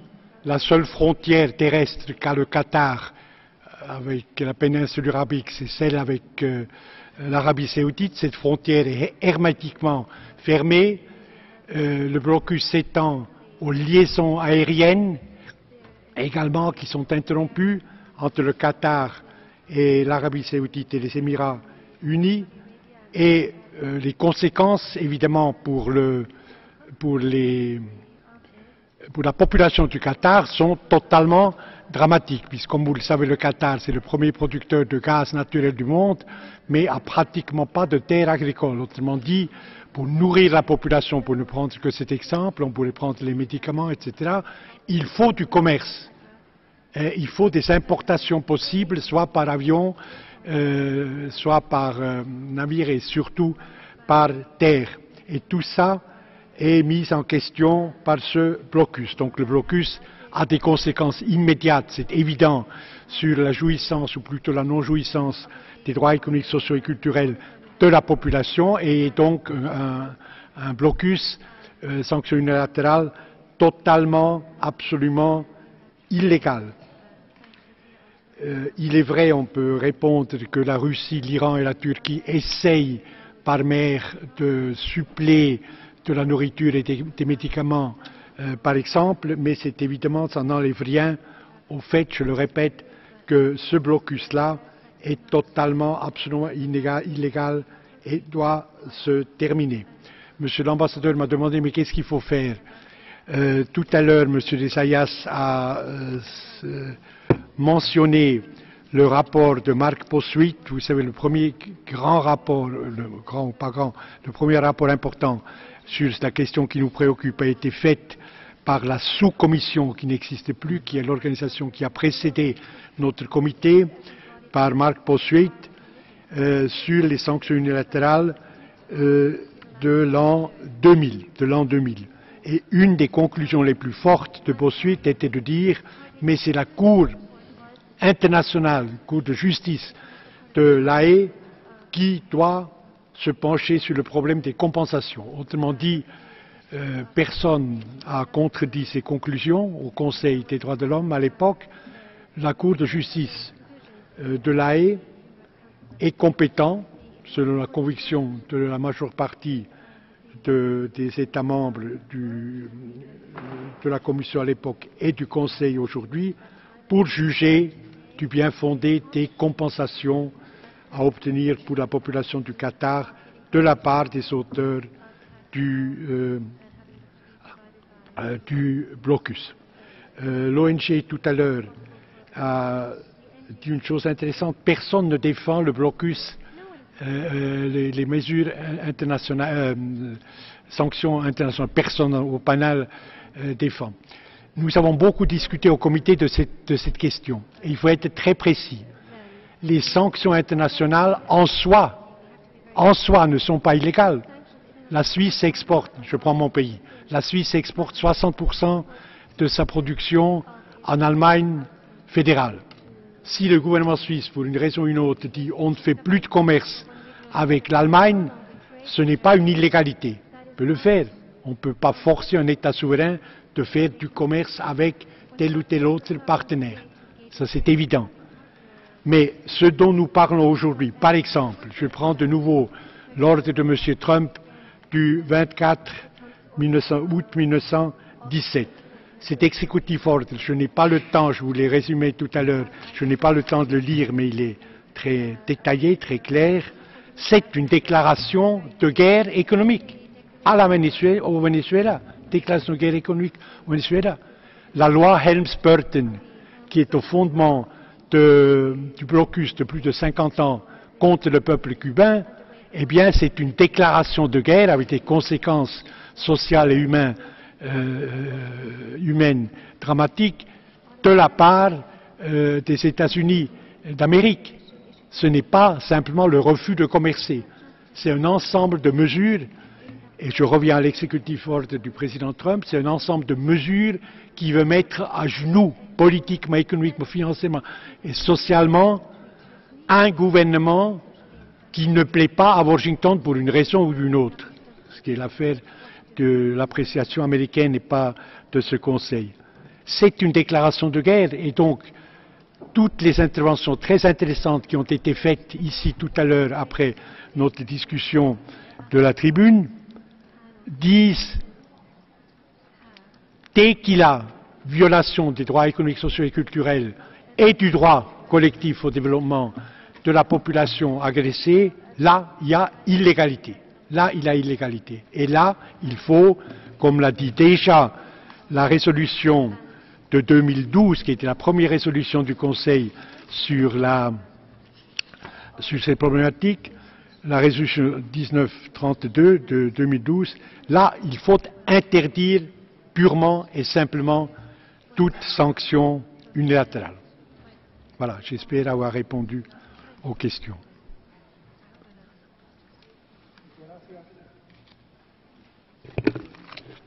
Gracias, doctor. Ahora vamos a darle la palabra al doctor Alfred Sayas, experto sobre la promoción de un orden internacional democrático y equitativo. Muchísimas gracias, embajador Valero. Uh, first, I wish to address a uh, comment of the Chinese uh, delegation.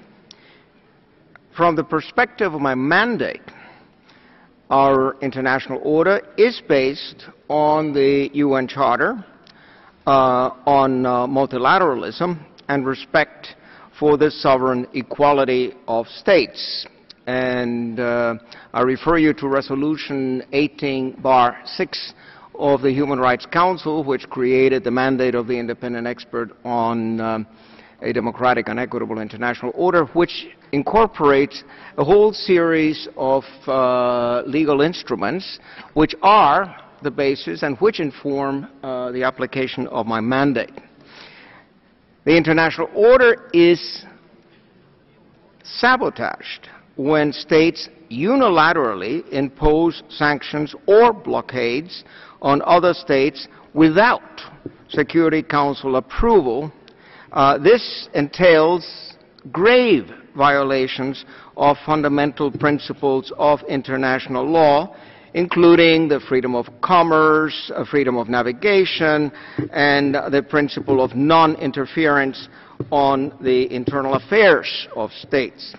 How to correct the negative impacts? Uh, first, by the immediate termination of sanctions, and second, by providing recourse and effective remedy uh, to the victims and uh, populations negatively affected, not only in the states targeted, but also in third states which endure the consequences of these uh, sanctions uh, as uh, collateral damage.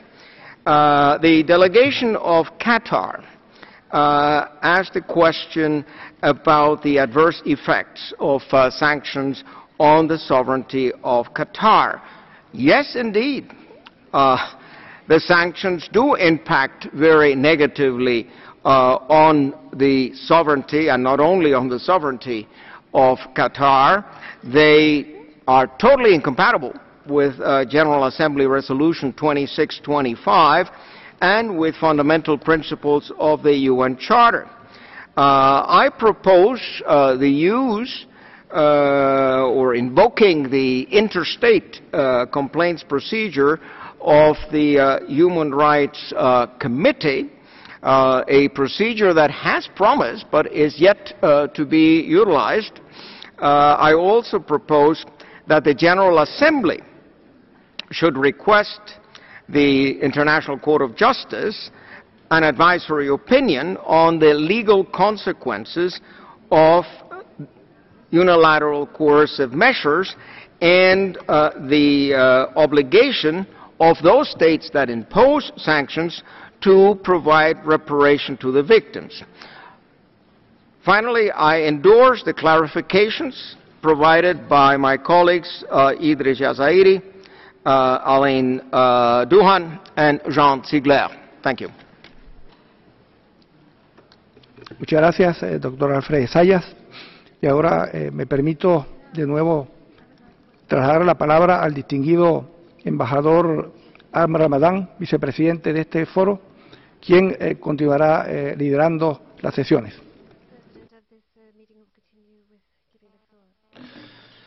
Thank you, moderator. And uh, we'll now proceed uh, with the second segment of our list of speakers. And I give the floor to the distinguished representative of Sudan.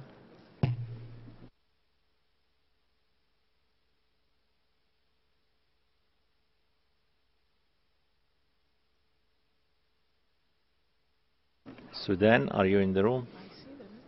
بسم الله الرحمن الرحيم سيد الرئيس يضم السودان بيانه إلى البيانات المقدمة من المجموعة الأفريقية والمجموعة العربية والمجموعة الإسلامية ومجموعة عدم الانحياز ومجموعة الدول المتوافقة الآراء لقد تأخر المجتمع الدولي كثيرا حتى توصل إلى إنشاء إلى إنشاء ولاية لمقرر خاص يعني بدراسة الأثر السالب للعقوبات القصرية على التمتع بحقوق الإنسان. وفي هذا السياق نجدد ترحيبنا وتأكيدنا على أهمية التجديد لولاية المقرر الخاص في هذه الولاية. سيد الرئيس إن الادعاء بأن هذه العقوبات مجرد تدابير أو إنها عقوبات ذكية تؤدي إلى وفاء الدول بالالتزامات الدولية هو كلام مقاير ومجاف للحقيقة. فهذه العقوبات تخالف ميثاق الأمم المتحدة والقانون الدولي ولعدم صدورها من مجلس الأمن تعتبر انتهاكا صريحا لمواثيق الدولية. وقد أثبتت التجارب العملية أن العقوبات تتضرر منها الشعوب والأسر في تفاصيل حياتهم اليومية من حيث لم الشمل والتأثير على كافة معيشتهم سواء في الصحة أو التعليم أو غيرها من الخدمات الأساسية. هذا الأمر يجعلنا نؤكد تفعيل آليات التسجيل لحصر الضرر الناجم من هذا الحصار غير المشروع وتفعيل الآليات الدولية لضمان المساءلة والتعويض. وفوق ذلك أهمية أن يتولى المجتمع الدولي بناء الأنظمة الكفيلة بعدم تكرار هذه العقوبات أو أن تكون سنة متكررة تمارس الدول تمارس آه على الدول. ختاما سيد الرئيس يؤكد السودان توصيات التوصيات الواردة في تقرير المقرر الخاص فيما يخص السجل المركزي وتطبيق قواعد السلوك في الفترة الانتقالية ويرى أنها قد رسمت طريق خروج يعالج الأزمات الناتجة من هذه العقوبات ويكافح آثارها السالبة على المجتمعات بآليات دولية مقبولة. وفي هذا الإطار تطلب بلادي من المجلس الموقر التأكيد على تسجيل الأضرار الناجمة من هذا الحصار مع الضمانات الكفيلة بالتعويض كافة الأضرار وصولا للانتصاف وجبر الضرر وشكرا سيد الرئيس Thank you. And I now give the floor to the delegation of Venezuela. Gracias, señor presidente. Venezuela se asocia a la intervención de Egipto a nombre del Grupo de Países y Ideas Afines y agradece las presentaciones realizadas por los distinguidos ponentes. Nos complace la celebración de este importante panel bienal sobre el impacto negativo de las medidas coercitivas unilaterales en el goce de todos los derechos humanos. Señor presidente, la imposición de estas medidas coercitivas unilaterales por parte de algunos estados son utilizadas como medida de presión política o económica contra los países en desarrollo son violatorias del derecho internacional y constituyen un serio obstáculo para el disfrute de los derechos humanos, incluido el derecho al desarrollo. Este Consejo ha condenado el efecto negativo de esas medidas que impiden y condicionan el derecho a la autodeterminación de los pueblos, instando a proscribirlas. Recientemente el gobierno de los Estados Unidos ha intentado coaccionar al pueblo de Venezuela y al legítimo gobierno del presidente Nicolás Maduro con imposición de medidas coercitivas unilaterales, confiscando activos del patrimonio venezolano en su territorio, afectando con esto la principal fuente de divisas del país. Esta actitud pone en peligro la paz y la seguridad nacional y regional. Rechazamos de la manera más categórica la promulgación de leyes ilegales con efectos extraterritoriales que entrañan una intromisión en los asuntos externos de los estados y vulneran su soberanía. Venezuela reitera su llamado a rechazar las medidas unilaterales de coerción contra cualquier Estado y a reconocer sus nefastas consecuencias sobre los derechos humanos, las relaciones comerciales internacionales, la paz, la seguridad y el bienestar de la humanidad. Muchas gracias, señor presidente. Thanks to you. And uh, next is Zimbabwe. Thank you, Mr. Vice President. My delegation wishes to thank the distinguished panelists for their insightful presentations, particularly in relation to the identification of post-stable mechanisms to assess and mitigate the adverse effects of UCMs. In its previous resolutions on the issue of UCMs, the Human Rights Council highlighted the fact that these measures are in breach of international law and that they have a negative impact on human rights, development, trade, investment, and international cooperation. To this end, the Council and the General Assembly have both called upon states to stop adopting, maintaining, or, or implementing UCMs. Further, a number of human rights treaty bodies have raised the need for special measures to alleviate the negative effect of such measures. As a victim, Zimbabwe can testify to the far-reaching consequences of economic sanctions on the enjoyment of human rights, particularly among the most vulnerable groups. In this regard, we welcome the proposals aimed at developing remedial measures that have emerged from this discussion.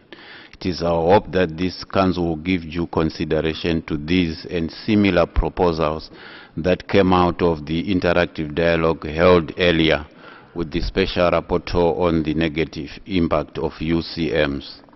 In conclusion, my delegation wishes to add its voice to calls for those states applying UCMs to terminate them and for all states to undertake to renounce the use of UCMs. I thank you, Mr. Vice President. Thanks to you, Zimbabwe. And I now give the floor to Pakistan. You, Mr. President. Pakistan believes uh, that exercise of power, political or economic, which affects people's lives must be subject to democratic controls and compatible with the purposes and principles of the Charter of the UN. This is essential uh, for establishing democratic and equitable international order.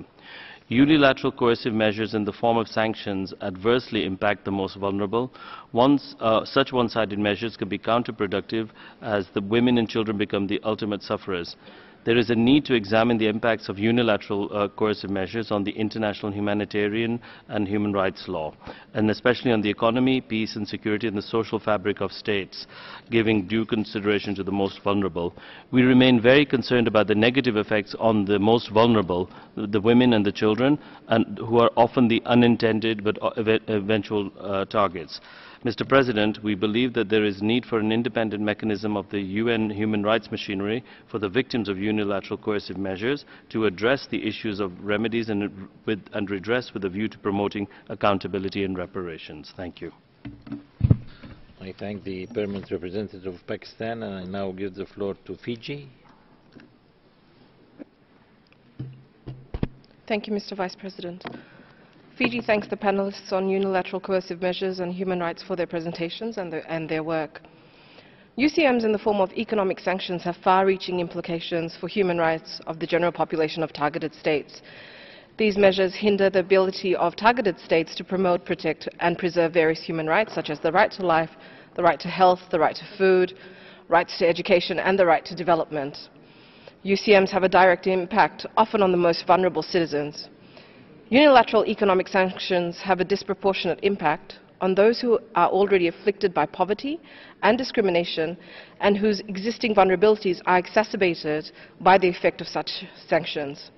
Therefore, Fiji supports the promotion of peaceful and cordial relations among member states within the Council as well as the UN framework and stresses the need for states to refrain from adopting, maintaining, implementing unilateral coercive measures on human rights.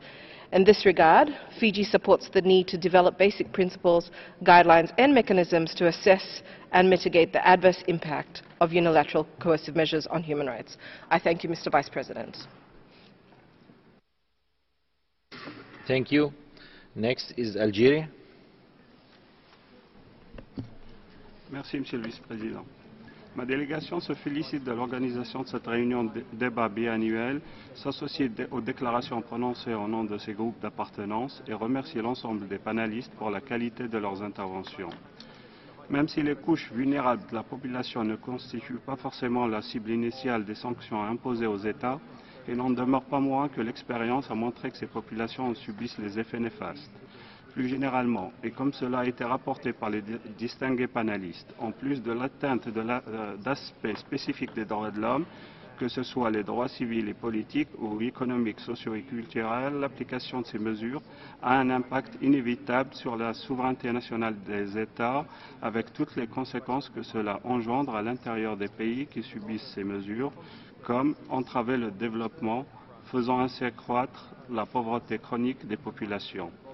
L'absence des moyens ou voies de recours pour les victimes alourdit les répercussions négatives sur les populations touchées et prennent les initiatives qui tendent à faire que ces mesures ne puissent exister en dehors du cadre des organes compétents et mécanismes des Nations Unies la communauté internationale est invitée à se pencher sur une approche concrète pour mettre en place ou rendre effectifs des mécanismes efficaces pour endiguer l'évolution inquiétante des mesures coercitives et retourner la balance de sorte qu'au lieu de faire supporter aux, populations les conséquences négatives de ces mesures, il devienne juridiquement impératif de passer par la légalité internationale avant de les adopter. Aussi, Ma délégation souhaiterait savoir si le problème qui nous réunit ici est dû à une absence insuffisance ou ineffectivité de mécanismes au niveau du droit international qui prennent en charge la question des mesures coercitives unilatérales. Je vous remercie, Monsieur le Vice-président.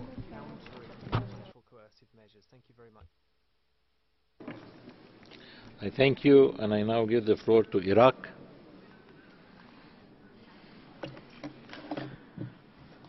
شكرا السيد نائب الرئيس.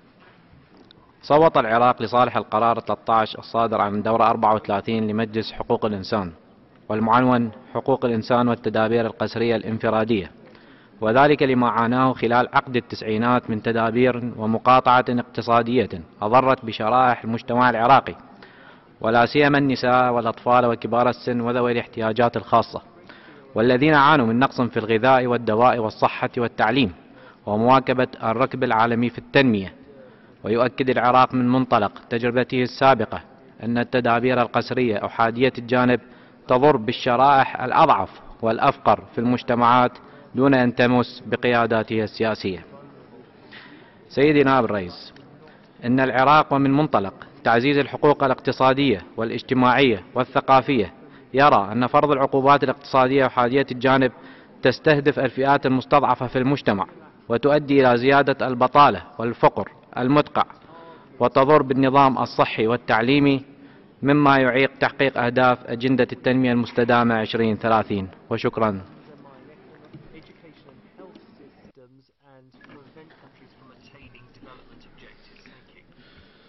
I thank you, and I now give the floor to the distinguished permanent representative of United Arab Emirates.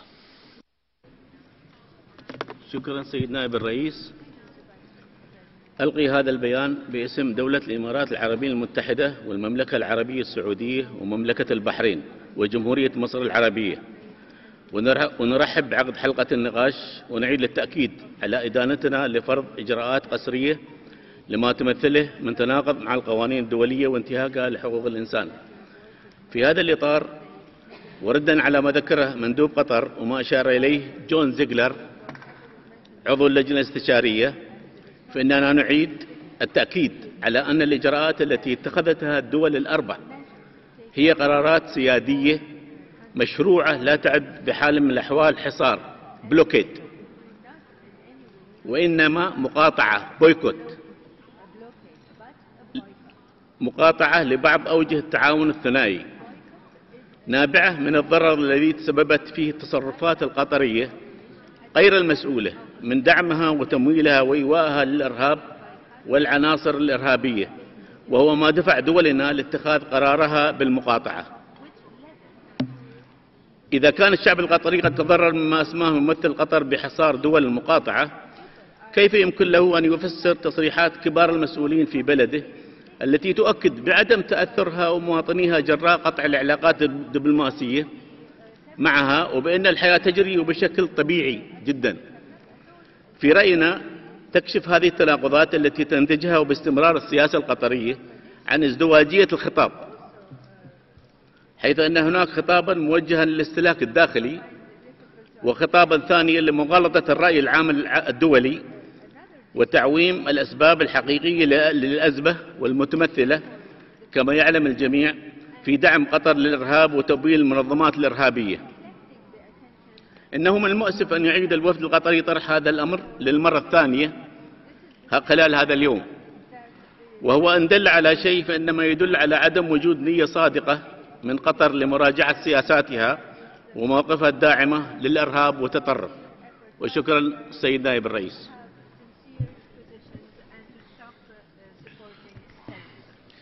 Thank you, and I now give the floor to the delegation of Nicaragua. Gracias, señor vicepresidente. Nicaragua da la bienvenida a los distinguidos panelistas y agradece sus esclarecedoras presentaciones. Adherimos las intervenciones del MNOAL y del MG. En nuestra capacidad nacional deseamos aportar lo siguiente. Como expresado esta mañana, Nicaragua condena firmemente la aplicación de MCUs por contravenir estas el derecho internacional, el derecho internacional humanitario, el derecho internacional de los derechos humanos y los propósitos y principios de la Carta de Naciones Unidas. No podemos obviar que en la tradición de la diplomacia de cañonero, las MCU son hoy utilizadas como instrumentos de agresión no militar para presionar, influenciar y limitar el libre ejercicio de la autodeterminación de los estados a las que son aplicadas con el fin de avanzar intereses económicos y geopolíticos particulares. Asimismo, son condenables especialmente por el impacto negativo que éstas tienen en los derechos humanos fundamentales de los pueblos y las personas, incluido el derecho al desarrollo. Por tanto, así como la guerra y los armamentos están reglamentados en el derecho internacional humanitario y los instrumentos internacionales relevantes, en función de minimizar el impacto en la vida de los civiles y los no combatientes, se hace evidente que la aplicación de las MCUs también debe ser regulada y gradualmente desfasada. En este sentido, el alcance y efecto extraterritorial de las MCU debe ir acompañado del reconocimiento de la extraterritorialidad de las obligaciones internacionales en materia de derechos humanos de quienes las aplican. La proclamación de una declaración sobre las medidas coercitivas unilaterales y los derechos humanos podría ser uno de los pasos en esa dirección. Asimismo, las víctimas del impacto negativo de estas medidas deben tener acceso a vías de recurso para reclamar reparaciones por los perjuicios causados al pleno goce de sus derechos humanos el establecimiento de un registro central de las sanciones unilaterales que puedan afectar los derechos humanos y de una comisión de minimización especial como mecanismo de rendición de cuentas podría facilitar esta necesidad de justicia. Para finalizar, señor vicepresidente, con su venia, siendo la última vez que, podemos dirigirnos en el seno de este Consejo al doctor Tesayas, en su calidad de experto independiente sobre el orden internacional democrático equitativo, deseamos reconocerle y reiterarle la gratitud de esta delegación por el invaluable servicio que ha prestado en tal función a este Consejo y al sistema onusiano de derechos humanos. Gracias, señor vicepresidente.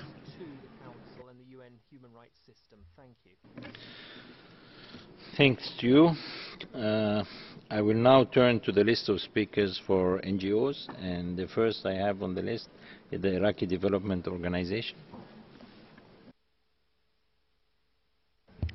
Mr. President, IDO and Americans for Democracy and Human Rights in Bahrain would like to thank the distinguished panel for their remarks. We echo the conclusions of the report and we share its concerns on the negative impact of unilateral coercive measures on human rights, development, international relations, trade, investment, and cooperation. In this context, we feel these impacts are illustrated most clearly by the unilateral coercive measures imposed on Yemen by the Saudi-led coalition through a total air and sea blockade and uninterrupted airstrikes on civilians and civilian infrastructure, likely amounting to war crimes. These measures are currently causing the Yemeni population to be deprived of essential goods, such as food and medicines, and stop them from freely pursuing their own economic, social, and cultural development. These measures have further detrimental effects beyond the immediate economic and humanitarian impact. This blockade, at its outset, interrupted an ongoing political dialogue to the detriment of Yemenis' self-determination. The blockade's impact on food and medical transfers has drastic effects on the right to health and the right to life. Finally, the threat to regional stability and greater human displacement has only externalized and exacerbated all of these human rights and humanitarian abuses. With this in mind, we ask, while this Council has previously adopted proposals and is currently renewing considerations for accountability mechanisms for a range of Yemen-based human rights abuses, what accountability mechanisms exist, or would you suggest, for addressing such inherently external and multilateral human rights abuses, such as universal, uh, sorry, unilateral coercive measures? Thank you. Thanks to you. Uh, next is Maarij Foundation for Peace and Development. Thank you, Mr. Vice President. Maarij Foundation for Peace and Development and Eastern Sudan for Women Development Organization would like first to support all the practical recommendations and proposals of the Special Reporter, including his current report to the HRC, through which we can see solutions to the current crisis and initiatives for the future preventive measures. Mr. Vice President, the interpretation of Article 2.1 of the ICESCR as it gives mandate of extraterritorial sanctions is in contradiction with Article 25 of the same covenant which reads nothing in the present covenant shall be interpreted as impairing the, the inherent right of all peoples to enjoy, util, utilize fully freely their natural wealth and resources, given that the negative impacts of the UCMs on the enjoyment of people with their natural wealth and resources is now well known to the HRC. We call upon the Council to go further steps and start developing an international treaty to prevent UCMs with a permanent committee to monitor in its implementation having mandate of receiving complaints from states, entities and individuals and be authorized to reparation and com compensation. Thank you, Mr. Vice President. Thanks to you. And the next is the International Council. شكرا سيد الرئيس اننا اذ نشارك مجلسكم الموقر قلقه الشديد ازاء التدابير القسريه الانفراديه من اثر سلبي على حقوق الانسان والتنميه حيث لا يجوز لأي دولة أن تستخدم أي نوع من التدابير أو أن تشجع على استخدامها لإكراه دولة أخرى. على التبعية لها في ممارسة حقوقها السيادية. سيد الرئيس ما تقوم به السعودية منذ سنوات من تعدي وإكراه غير أخلاقي في فرض الوصاية على جوارها من دول الخليج وما قامت به مؤخرا ضد دولة قطر وحصار شعبها وقبلها حصار اليمن. والحروب الظالمة التي تشنها هنا وهناك للافتئات على سيادة الدول لتتبعها في ذلك حكومة أبو ظبي وغيرها من الدول. التي تشارك السعودية في اتخاذ تدابير قسرية أحادية على شكل عقوبات اقتصادية خلفت تبعات كارثية في اليمن وقطر مست صميم حقوق الإنسان المكفولة في الدول المستهدفة وأحدثت تغيير أحدثت أثرا بالغا وقع على الفقراء والطبقات الأكثر ضعفا. هذا الاستبداد السعودي المتواصل هو امتداد لما فعلته في العراق وسوريا والعالم. ونجمت عن تكاليف باهظة على صعيد حقوق الإنسان الذي من المفترض أن لا يجوز في أي ظرف من الظروف حرمان الناس من السبل الأساسية لبقائهم. وأننا إذ نثني على مطالبة الحكومة القطرية اليوم من المجتمع الدولي إفهام السعودية وفقا لآلياتها الأشد بأن جميع حقوق الإنسان عالمية وغير قابلة للتجزئة وغير قابلة للتصرف وبشكل أساسي وجزء لا يتجزأ من جميع حقوق الإنسان. السيد الرئيس ما زلنا نتطلع أن يولي مجلسكم الأهمية اللازمة للتصدي للتدابير القسرية غير المشروعة التي تتخذها حكومة المغرب ضد الشعب الصحراوي في إقليم الصحراء الغربية المطالب بحقه في تقرير مصيره كما نطالب بسرعة تحرككم الأممي للتصدي لجرائم الإبادة. التي ترتكب في مانيمار وأخيرا فان ما تتعرض له فنزويلا اليوم أشبه بما تعرضت له سوريا. فحذاري من التعاطي مع هذا الملف باتخاذ تدابير أحادية للجانب وقسرية رأفة ورحمة بالشعب الفنزويلي العظيم. شكرا سيد الرئيس.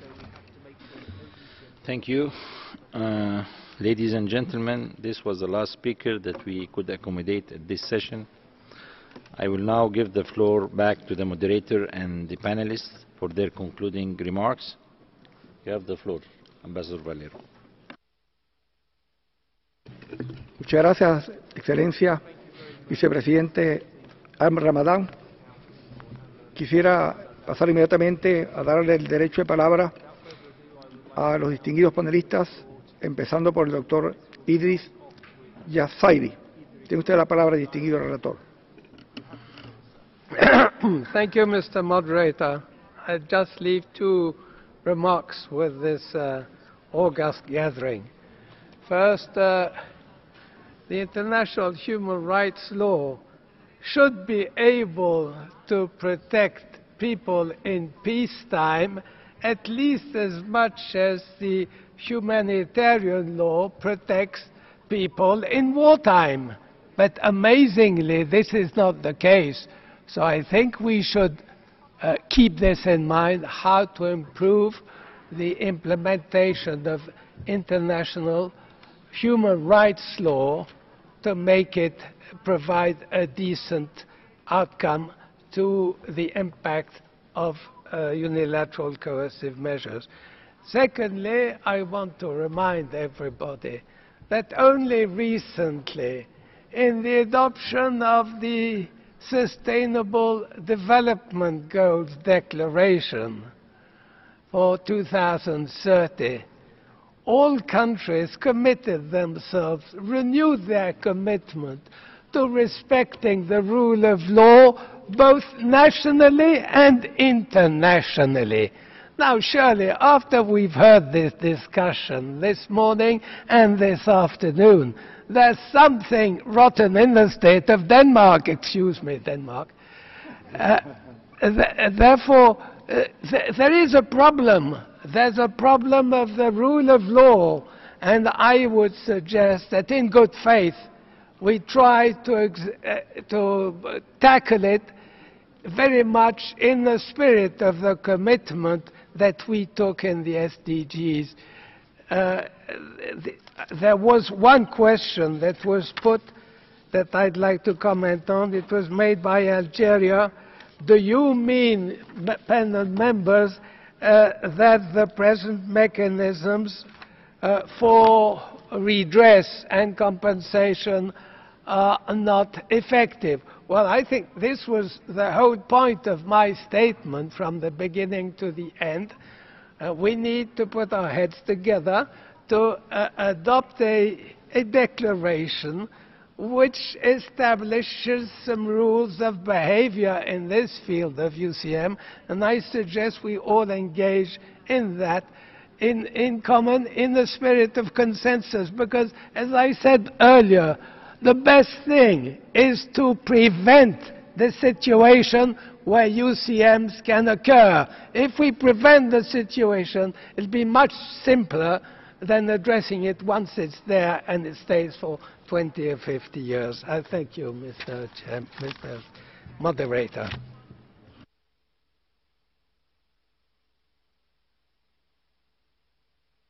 Gracias, distinguido relator. Ahora vamos a darle la palabra a la señora Douhan. Thank you very much. I would like to reflect a couple of remarks done by the honored speakers. Naturally, we can't speak that all means of pressure applied by one state or another are ipso facto illegal. Naturally, there are lots of exceptions when, when states try to influence their neighbors or any other states by different means. Some of these means have already been mentioned today.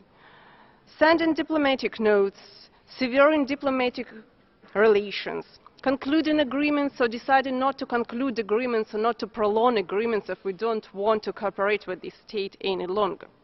It can legally be done. If, for example, some drastic situations are happening, like mass gross violation of human rights or harboring terrorists on its territory which are committing terrorist acts actively. There is an institute of countermeasures. And one state can put some pressure on the other, but within the legal limits of countermeasures. It means that no principles of international law shall be broken, including the prohibition to use force, prohibition of intervention, uh, the need to settle disputes in a peaceful way. Measures applied shall be proportionate, and no human rights shall be violated, as well as no humanitarian reparation shall take place.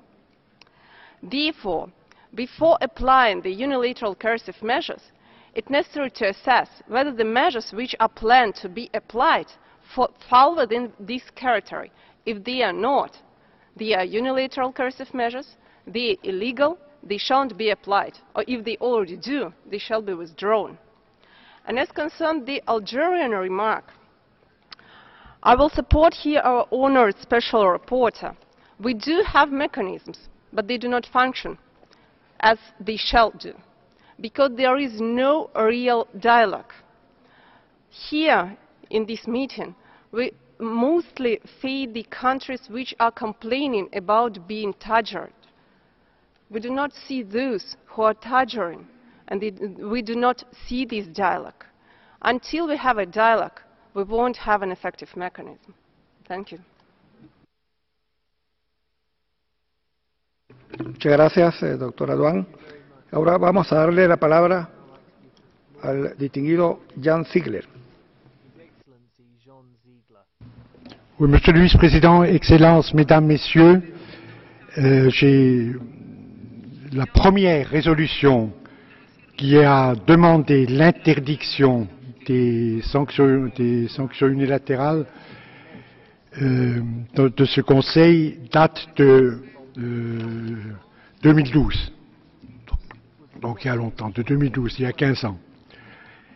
C'est la première qui clairement demande l'interdiction de la de sanctions euh, unilatérales s'il est prouvé qu'il provoque des violations pour la population agressée de ses droits économiques, sociaux et culturels et de son droit au développement. C'est la résolution 1932, je le répète, de 2012. Alors, vous me disiez tout à l'heure, notre collègue euh, l'a dit, rien ne bouge. C'est vrai. Euh, cette résolution est d'une clarté absolue, mais rien n'a bougé. Je prends l'exemple de Gaza, le peuple martyr de Palestine subit depuis 2006 le blocus total, presque total, de la part de la puissance israélienne. Cuba, qui résiste héroïquement depuis 57 ans, blocus américain. J'espère que le Venezuela ne subira pas le même destin pour des dizaines d'années de blocus et de sanctions unilatérales américaines, mais rien ne bouge. Alors, Kofi Annan a dit cette phrase que tout le monde connaît, en matière de droits de l'homme, la conscience collective évolue, mais à la vitesse des glaciers. À la vitesse des glaciers, c'est-à-dire très très très lentement. Ça ne nous dispense pas, tous, société civile, société académique, État, institutions des Nations Unies et notamment Conseil des droits de l'homme, de lutter pour que enfin ces normes internationales nouvelles soient créées, interdiction totale des euh, sanctions unilatérales provoquant, quand elles provoquent, des violations des droits de l'homme ou du droit collectif au développement. Cette obligation est la nôtre et pour ma part et pour la part de notre comité consultatif du Conseil des droits de l'homme, nous allons essayer de réaliser cette obligation et, d'être fidèle à notre devoir. Voilà.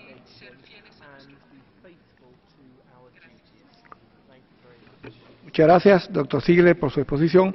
Y ahora vamos a darle la palabra al doctor, eh, eh, Alfred de Sayas. Gracias, embajador uh, Valero. Yo acabo de regresar de la sala 23, donde hice una alocución en otro panel uh, que concierne uh, las muertes en 1988, 30.000 prisioneros políticos en Irán. Pero tengo entendido que Nicaragua tomó la palabra y mencionó mi informe, eh, pues muchísimas gracias por mencionar mi informe, que tiene desde luego eh, muchas recomendaciones concretas y pragmáticas. Uh, moving into English, because I think one of the points that I wanted to uh, bring out is the concept of uh, general principles of law. It's not just international law that is being violated by uh, the um, blockades, uh, by the embargoes, by the unilateral sanctions, but also a whole series of general principles uh, of law. Um, I refer to the statute of the International Court of Justice, Article 38, uh, little 1, little c. Now, these are principles of legality and legitimacy recognized by peoples and nations over the centuries and building blocks of treaties and other agreements. Such principles constitute the spirit of the law. I always like to give my students Montesquieu de l'esprit des lois and make reference uh, to what inspires the law, this spirit of the law. And among these general principles of law are good faith, ex injuria non oritur ius, estoppel, non-arbitrariness, all of which underpin the protection of state sovereignty, the prohibition of interference in the internal matters of states, the freedom of international trade, and the freedom of navigation, among others. Moreover, sanctions and embargoes violate the cardinal international judicial norm of pacta sunt servanda, since they hinder the compliance with valid treaties agreed upon according to international law. The extraterritorial application of national laws constitutes a new variant of colonialism, resulting in usurpation of sovereign competencies bordering on annexation by means of overextension of jurisdictional exercise of power. I ask you to visualize what I'm saying. It is an usurpation of sovereign competencies bordering on an annexation by means of overextension of judicial exercise of power. Now, I am quite, I would almost say amused by the lack of good faith of many transnational corporations and many businesses and many investors. You know that I devoted my report 2015 to bilateral investment treaties and to free trade agreements and to the phenomenon of the parallel system of justice called investor-state dispute settlement. These are these arbitrations uh, which are invariably biased in favor of uh, business and which encroach enormously on the sovereignty of states. Now, investment protection. Yes, the investors need protection, but also the states need protection from investors. But if we're looking at investing protection and some uh, businesses complain against Colombia because Colombia decides that it's not going to issue a permit to build a gold mine uh, in the Amazonian uh, rainforest, or because uh, Canada is not issuing a permit for building uh, a carrière, a quarry, uh, in a, an environmentally um, uh, sensitive area. These are the ontological functions of the state to regulate in the name of society, to protect the rights of the public. That's what a state is there for. Whereas throughout ISDS, uh, because they say, oh no, I'm going to make less money. I mean, this is going to impact on my profits. So I'll sue. And um, it is an anomaly that uh, businesses that have been impacted by unilateral coercive measures, say if you have uh, businesses, uh, you're an exporter uh, of um, tomatoes to Russia, or you are an exporter of uh, chips, or whatever, I mean digital chips and that sort of thing. And suddenly you cannot export or you cannot import, you cannot sell your product uh, or buy products from that country, uh, you're going to suffer a major, a major financial loss. On the other hand, I don't see the ISDS uh, system being called upon to condemn the sanctions. And if you remember the text of the defunct, or hopefully defunct, uh, Trans-Pacific uh, Partnership, the TPP, they woke up to this danger and they actually put in an exception in the text with regard to ISDS, uh, saying that if uh, a person loses money because of unilateral coercion measures, uh, then he cannot sue. Whereas in the past, essentially in bilateral investment treaties or free trade agreements, in principle you could sue, but that has not happened. And as I said, uh, it, it uh, baffles the imagination, the lack uh, of good faith on the part of the business community that says, uh, I can sue a government because it doesn't let me build a quarry, but I cannot sue a government because it prohibits me uh, from selling my goods in, uh, in Qatar or selling my goods in Russia or selling my goods in Venezuela. Thank you. Eh, gracias, eh, doctor de Zayas. Como hemos podido escuchar durante el debate en esta tarde tan rico y tan interesante, sobre todo a partir de las intervenciones que han hecho los ponentes, que consideramos han dado una gran contribución para ir esclareciendo más aún este tema en la ruta hacia la aprobación de algún instrumento internacional que pudiera ponerle fin a estas medidas coercitivas unilaterales. Desafortunadamente, en el debate que tuvimos y en el cual participaron los estados, eh, vimos que hubo una absoluta eh, objeción a estas medidas coercitivas unilaterales. Lamentablemente, aquellos que aún las defienden o las aplican no elevaron su voz en esta tarde. Esperamos que en los próximos paneles que hagamos se pueda escuchar una eh, expresión mucho más diversa, pero obviamente que no es culpa de los organizadores de este foro, ni menos aún culpa de los panelistas de que no se hayan escuchado voces disidentes desde Estados. Sí hubo voces disidentes desde las ONG, que ya ustedes escucharon, pero también eh, le queda la impresión al moderador de que la comunidad mundial, incluyendo las organizaciones no gubernamentales, eh, en su gran mayoría condenan las medidas coercitivas unilaterales y apoyan la adopción de medidas de reparación para aquellos países afectados por estas medidas. Quisiera finalmente darle de nuevo la palabra a nuestro vicepresidente y líder de esta sesión para que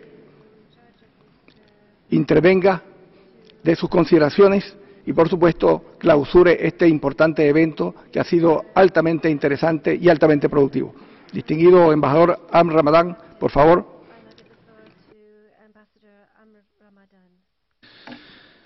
Thank you, Valero. Uh, distinguished delegates, this brings us to the end of the biennial panel discussion on unilateral coercive measures and human rights. I wish to thank Ms. Peggy Hicks, who unfortunately had to leave moments ago due to another commitment, and His Excellency Ambassador Jorge Valero, as well as the four participants, four panelists, and all participants for their contributions. We will reconvene tomorrow morning at 10 a.m. for the annual discussion on the integration of a gender perspective throughout the work of the Human Rights Council and that of its mechanisms. I hereby declare closed the 10th meeting of the 36th session of the Human Rights Council.